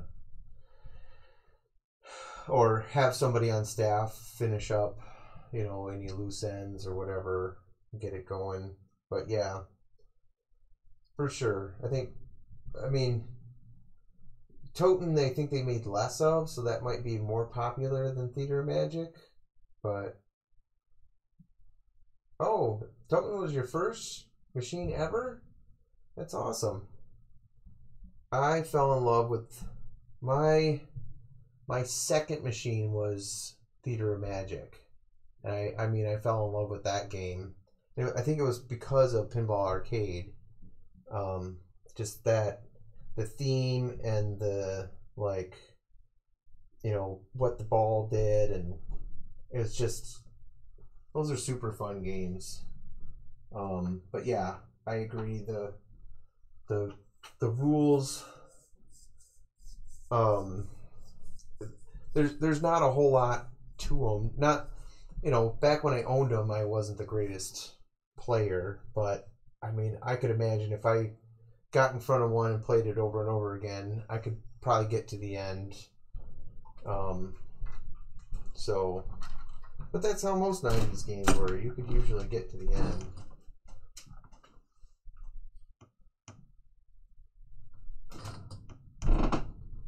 They were they were designed for a location and they only did so much. So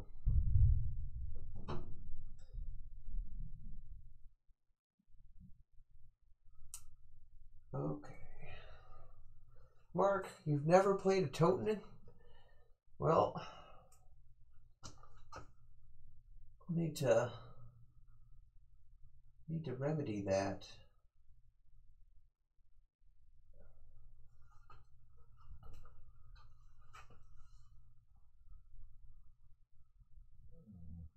Ugh.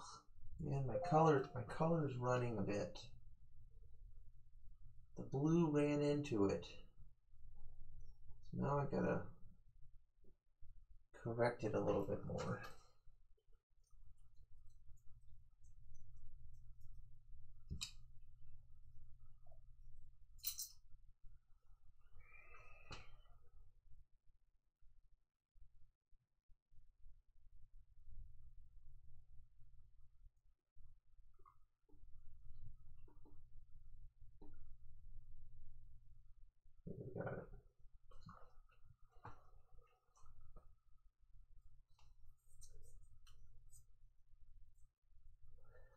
Well, yeah. You mean the just the the 90s games in general being more advanced compared to um well I mean as far as like progressing through the rules and different modes. Um, yeah, I mean, there's quite a few things. There's, I mean, there's a lot of a lot of different modes to play on it. So yeah, I guess I I'd agree with that.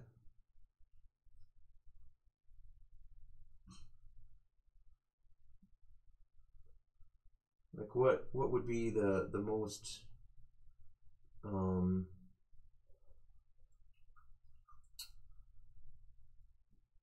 the most depth of a 90s game like probably Twilight Zone or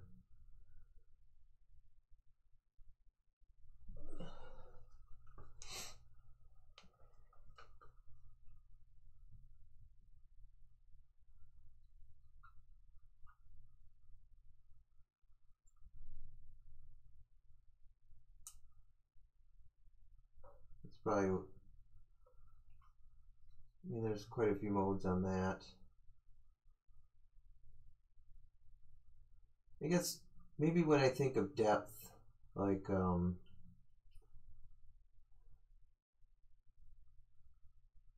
I don't know, like so many Twilight Twilight Zone sorcerer. Why would you say sorcerer? That's that's even earlier. Oh, okay. Yeah, 90s more advanced than 80s, yes. Sorcerer is like, isn't that like 84 or 80? Uh, that was an early solid state game. Yeah, Godzilla versus Twilight Zone for sure. I mean, just like I guess when I think of depth now, rules today, the depth meaning like so many nuances to the rules, like stacking, um, or like building up multipliers and hitting these certain combo shots and knowing the, like these little things throughout the game like you really need to study all of these little things to like maximize your scoring potential and it's it's insane. Hmm. Yeah. And i think um comparing with older games i mean you had a uh, limitations of memory. You know you have a chips in the back box that are on the MPU that only hold so much. So you're not, it's not going to be, you're not going to be able to pack in tons and tons of stuff. So, but today you have a computer in there with essentially infinite amount of stuff which I would say that the code doesn't even the code probably doesn't even take up that much space. The vast majority of it is like all of your freaking animations and things that go on the screen. That's what takes the most amount of time now of the development is that damn screen. So I know that people like it but it is the number one thing that takes the most amount of time when developing a game. So think about like every single screen that you see, the animation, the motion of it,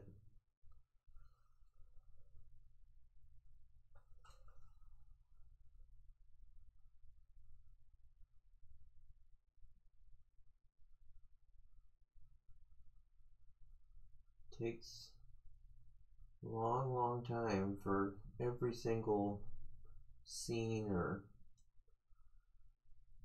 transition. That's why Stern and Jersey Jack have like an army of people working on the screen. Yeah, for sure.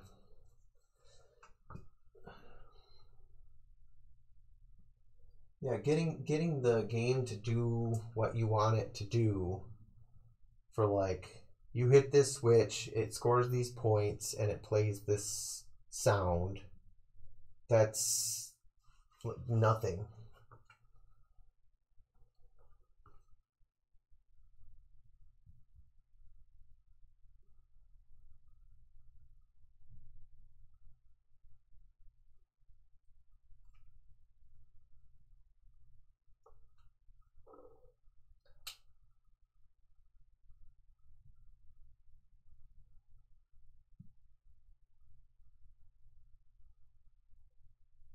Honestly, I can't keep track of like super in depth nuances to rules.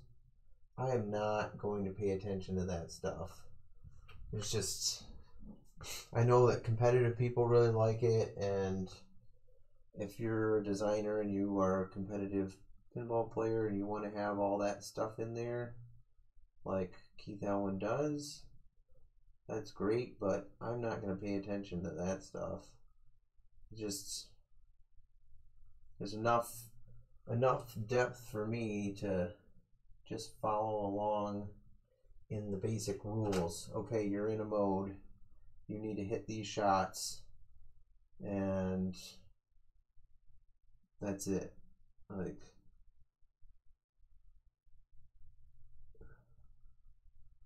I am not gonna figure out hitting certain combo shots or multipliers.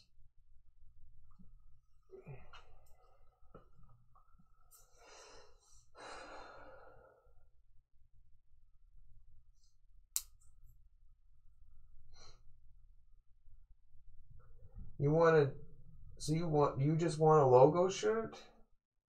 Small, small in front, large on back. Oh, I'm sure I can make that happen. Uh, attack. You just flap. You flip the flappers, and you make the lights blink. you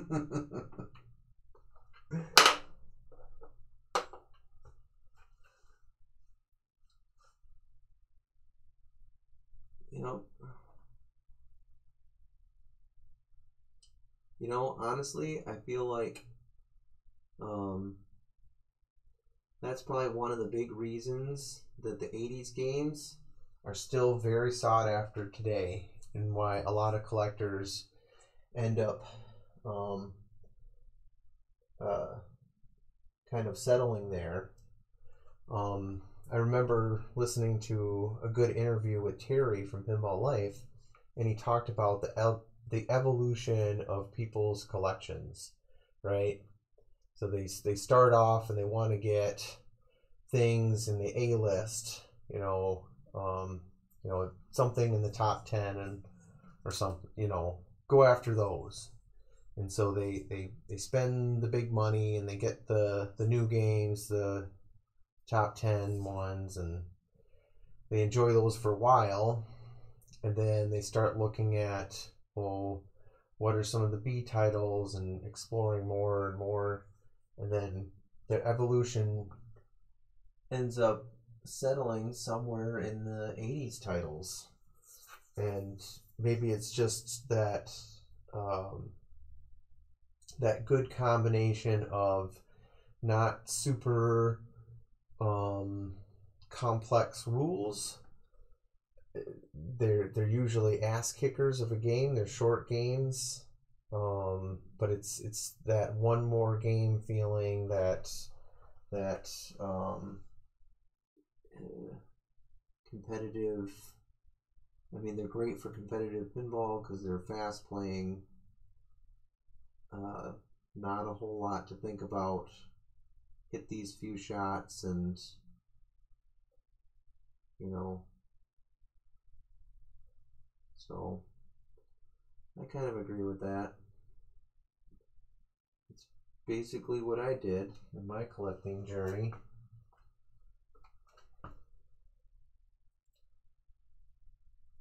Not that I don't enjoy, you know, the the modern games have lots to enjoy, and it, it is fun to get into some of the depth to it, but sometimes I mean, it's fun just to have a game where, like we played last night with Sea Witch. Just, you want to hit, the objective is hitting those few shots and doing the best you can.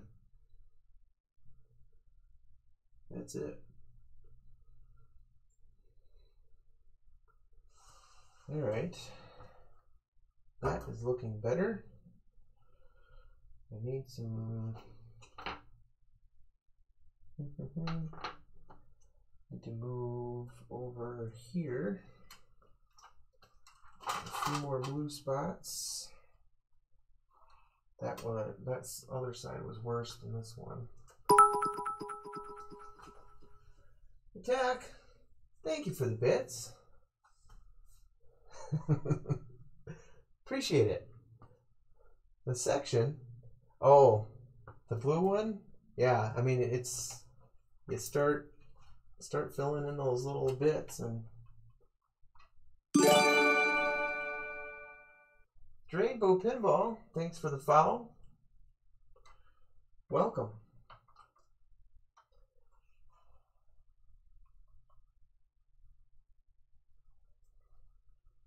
Well, since there's new people in here, I'll post it in here. So I, I talked about it last night on the um, on the Buffalo stream, but I realized that it's probably not good to you know talk about my own things on Buffalo, but I can do it here. So if you um, if you want to check it out, you're not you, you don't need to buy anything at all, but I I just wanted to show you the cool art that we came up with uh, for some of my swag. So I make zero dollars on any of it. I put it the price as low as it would possibly go. So I just want people, if you want it, uh, it's it's nothing is going to me. The little white spot where it says scoring, when that when that goes away. Oh, um, yes. The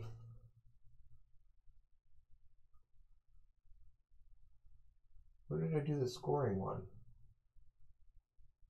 You mean in here? Oh, yeah, for sure. Where did my brush go? Here's a little white spot. That one. Alright, now I have to go over here.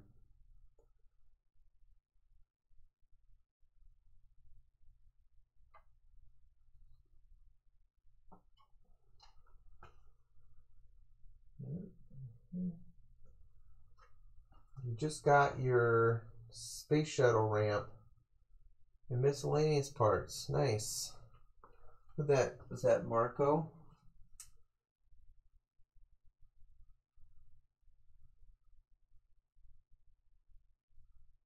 Or Starship Fantasy?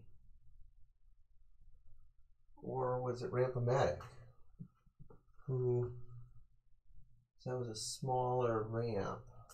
Marco. Okay.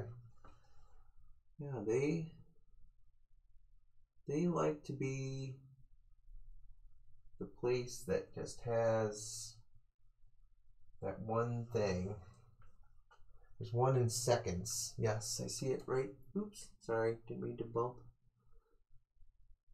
the camera. Mm -hmm.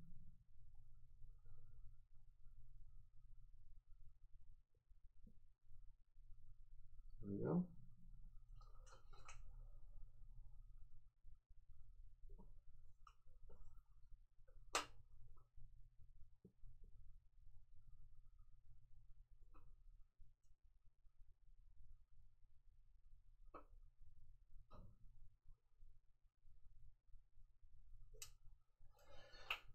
A little tedious to go through all these little spots, but yeah, it does look a lot better once it's done. My eyes are going to bug out when I go to do the green. it's so close. Like you can't see it very well on the camera, but it's like a brighter green. All these little dots.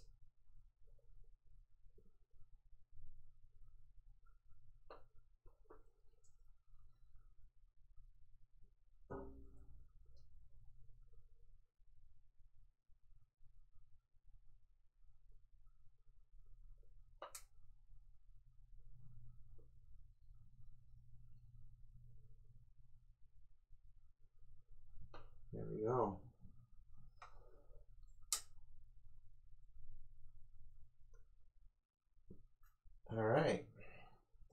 Pretty dang good. Much gooder than it was. Uh, Drainbow, yeah. Um, it just depends on what I'm doing. Uh, so, it, I, it's sort of like a, a variety stream. So I, I do, I do touch ups on playfields fairly often. Um, so the extent of which just depends on um, like how far I want to take it. Uh, I've done several playfield restorations over the years and um, different clear coat jobs and um, I've done one like so this one isn't going to get a clear coat this one will just be kind of sealing the touch up areas and um, I've also done ones where you can touch up and then do a um, like a playfield protector over it. Um, so there's there's many different ways that you can approach it. Um, other things I do on this stream, um, I'm gonna be. Oh, I'll show you. Uh, okay. Well, thanks for hanging out for sure. Sometimes he gets drunk and plays totally close to the heart. Yes. For sure. Um, I wanted to show the, uh, tilt this up. I got this, well, maybe you can't see it. It's pretty far away. Uh, I might have to go with the other camera. But I have my jukebox over there, and I got sweet new um, uh, neon light for it. So says Rock and Roll. It looks like a 45 record. So I'll be. I did get a capacitor kit for the amplifier, so I need to tear into that and uh, replace some caps, uh, do some board work, um, anything arcade related,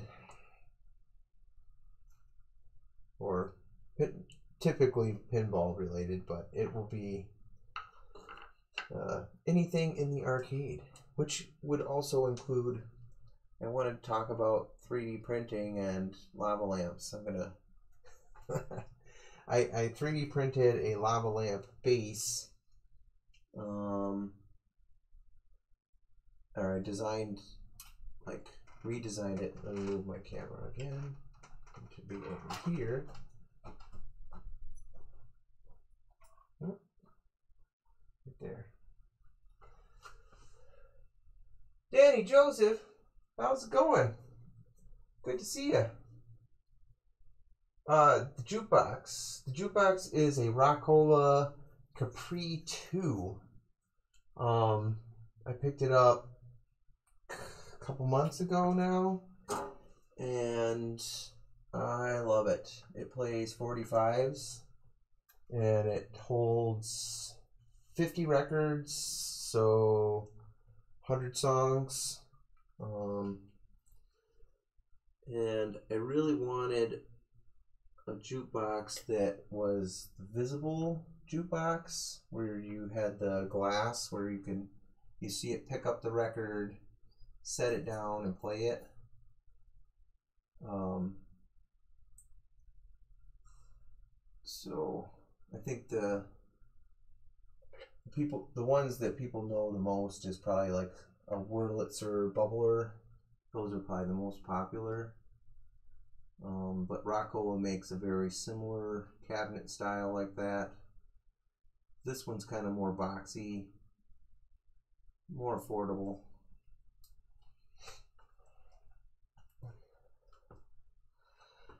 But yeah, I can show you.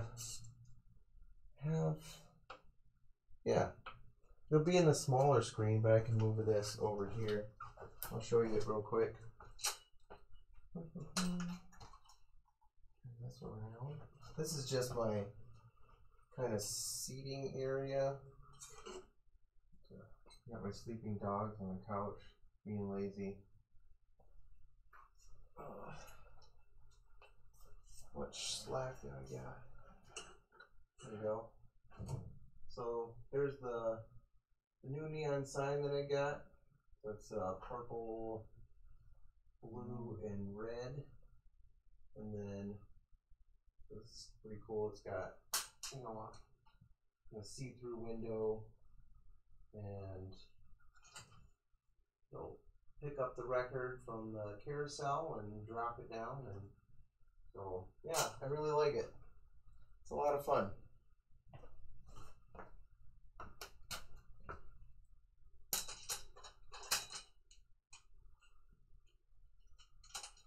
But yeah, so my um, another friend that lives up north uh, for uh, it's actually a, a, kind of duo is uh, Pinball Mayhem, and um, yeah, the doggos they're they they pretty much sleep all day. um, so Pinball Mayhem, they're up in uh, Stevens Point area, Wisconsin, and they uh, mostly it's it's Ed Owens and uh, Jeremy Ajima. Ed uh, recently quit his job and gone. He's in the jukebox business now, they are they bought Victory Glass, which was out of Des Moines, Iowa, and they're in the process of moving that business from Des Moines up to Appleton, Wisconsin. So they're kind of putting together that warehouse and moving all the inventory and so basically they're going to be the uh, uh, they're they're trying to be like all things jukebox parts. So um, that'll be awesome to have that close by. And honestly, I want to learn more about repairing them. Um, you know, looking at some of the guts inside of it, they're really not that much different than an old electrical mechanical pinball machine. Um, it's, I mean, you have electronics uh, that run like the amplifier and everything, but it's uh, as long as you can get parts and repair the thing, um, for everything that I'm hearing about it, eh, being a repair tech for jukeboxes can be um, can be a lucrative venture. So I'm from what Ed is telling me, if you can repair a jukebox, you can make about a hundred bucks an hour doing that. And if you think of the market, well, comparing it to pinball, jukeboxes are probably even more prevalent than pinball is. I mean, if you open up like Facebook Marketplace or Craigslist and you just search that, I bet you you'd find a ton of jukeboxes listed.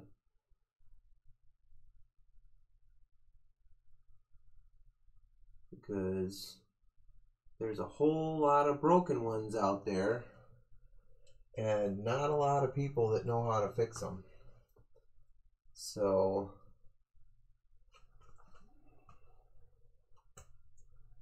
yeah.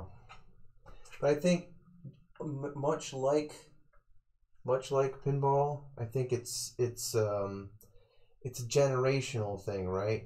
So um pinball has like the nostalgia of retro was cool and younger people are getting into it but uh i don't know if the well younger people are getting into vinyl so that that is true they're they're they're collecting vinyl records. They're they're more into into that than they were. I don't know previously. I guess there's there's something. Um, tan- what do you call it? The tactile. Uh, instead of just hitting play on your on your MP3 player or your phone, you have a real thing that plays music. Um, so I feel like that could tie into that market.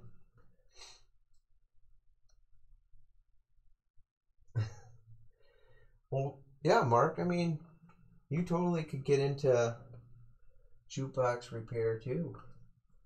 I think it's it's always good to learn something new. So it might be something that I I slowly learn here and there to fix them. I don't know if I want to collect tons and tons of them, but I at least want to be educated on maybe maybe it's something I'll I'll pick one up every now and then, repair it, sell it, get another one, repair it, sell it, something like that. But at this point, I don't know. I don't know what I don't know.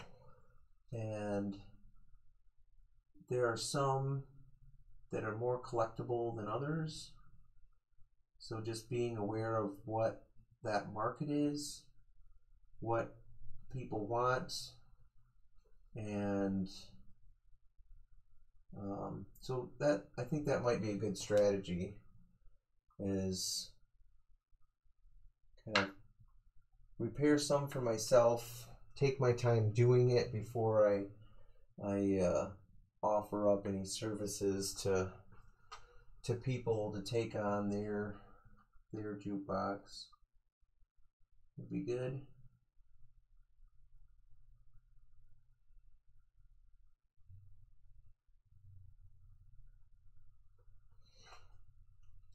Hmm, hmm, hmm.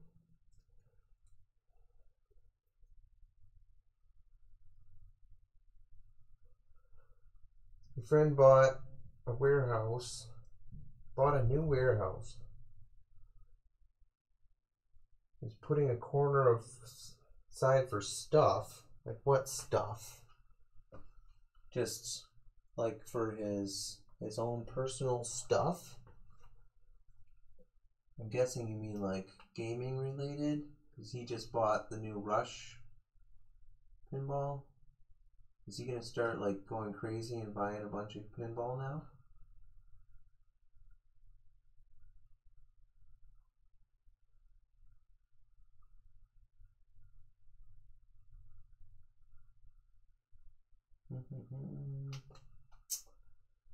Any more blue?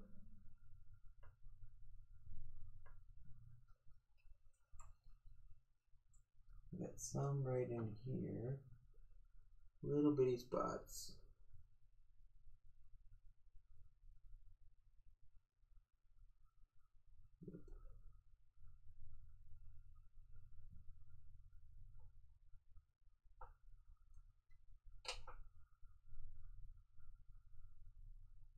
Those look pretty good. Moving on up here. Not a whole lot up here, just a few spots. He was talking about opening an arcade on my side of town. Hmm. Well, so yeah, he probably needs like a, a repair tech to go through, make sure things are working on a periodic basis. Well, I don't know in this area if it's enough um, people or enough population to support it, but maybe. Depend, maybe it just depends on how much you advertise and you can get people to to travel for it. Um,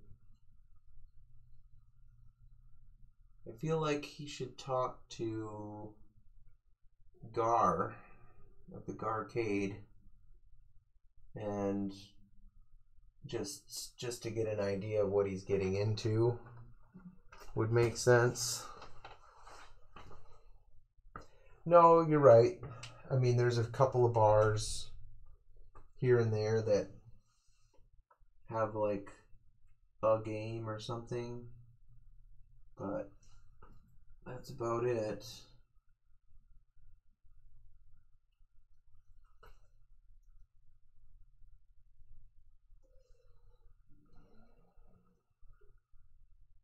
All right.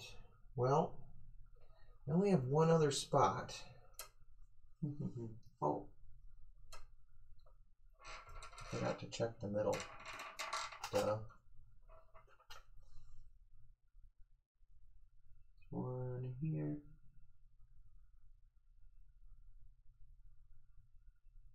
And then I want to show you this crazy spot.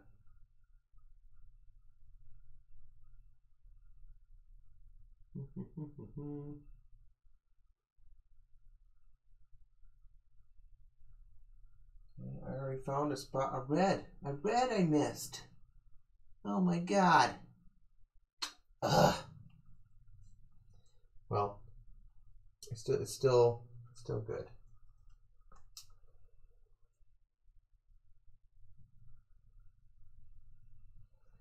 Well, I don't know, Mark. I feel like uh, that'd be that'd be a lot of work for sure. You start smaller first. All right, this is the crazy spot. It's got these really, really small lines. Focus this way. We got that spot. I have to do this really sharp line. And then there's one other spot. But I mean it's mostly covered in in a plastic. So anyway, what what I'm gonna do here focus it further away so I can just talk about the, the technique. Ugh. Back. Okay. So, the technique on this. I'm not going to use a brush. I'm going to use an X-Acto blade. Hey, but I want to show fine lines. This is a good example, okay? So, uh, what, what I do is just put a little bit of paint on the knife.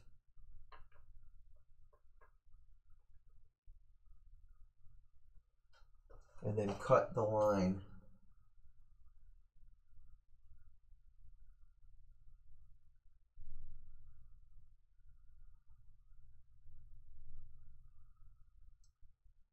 Well, steady hand. We cut the line first and then put some paint on it.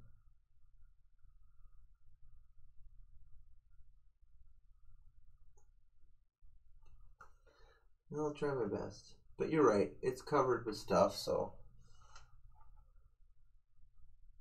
not that big a deal. Ugh.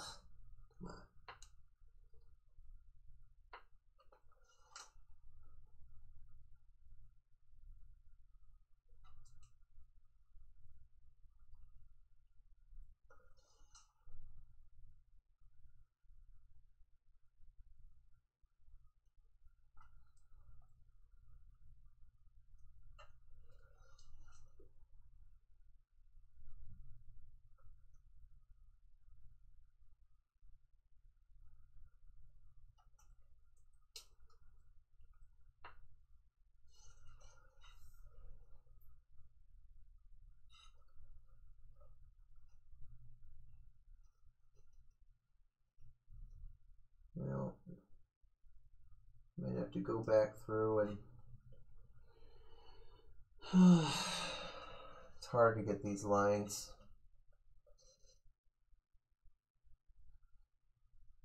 Yeah, they're thicker than I want. Ugh. Well, not the best job.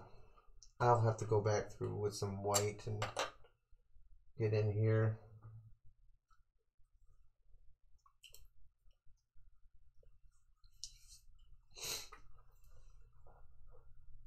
Not terrible though. Better than it was. Alright. Holy moly. I've been going for three hours. Alright, I better call it quits on this. Uh, and go do some other things. It's I got some yard work to do and I'm pretty well set with the blue. So let me back it up and kind of see overall.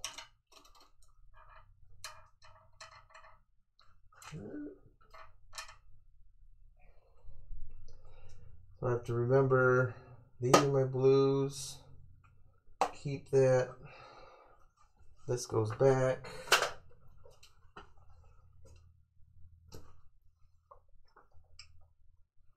Clean off my brush. Oh yeah, that's right. There was one red spot that I forgot. Or I missed. And I already have the red. So just get it done. Right here.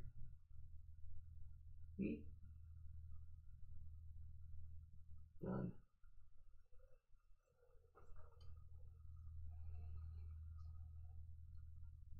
All right, so I think next stream, I just have to move through the colors because you got uh, yellow, yellow, red, purple, blue, um,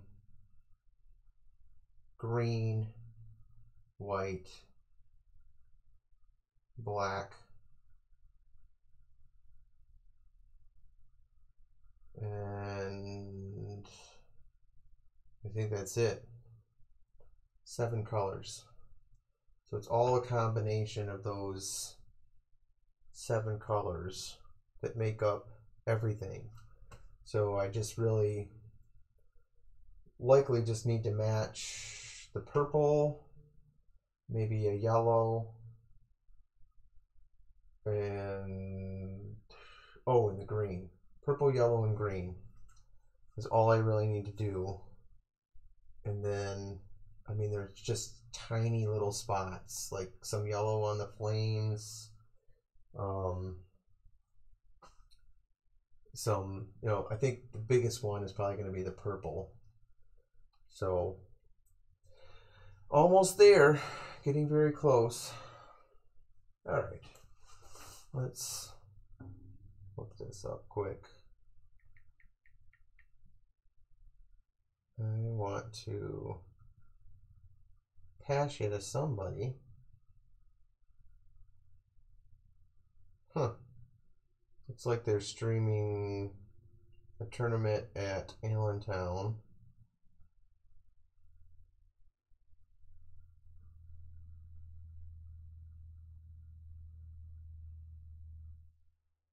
Oh, somebody's doing a Pinfest walkthrough. That looks fun.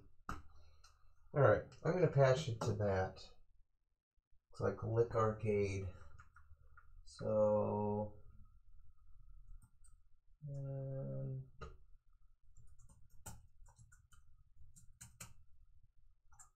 does that work? Uh,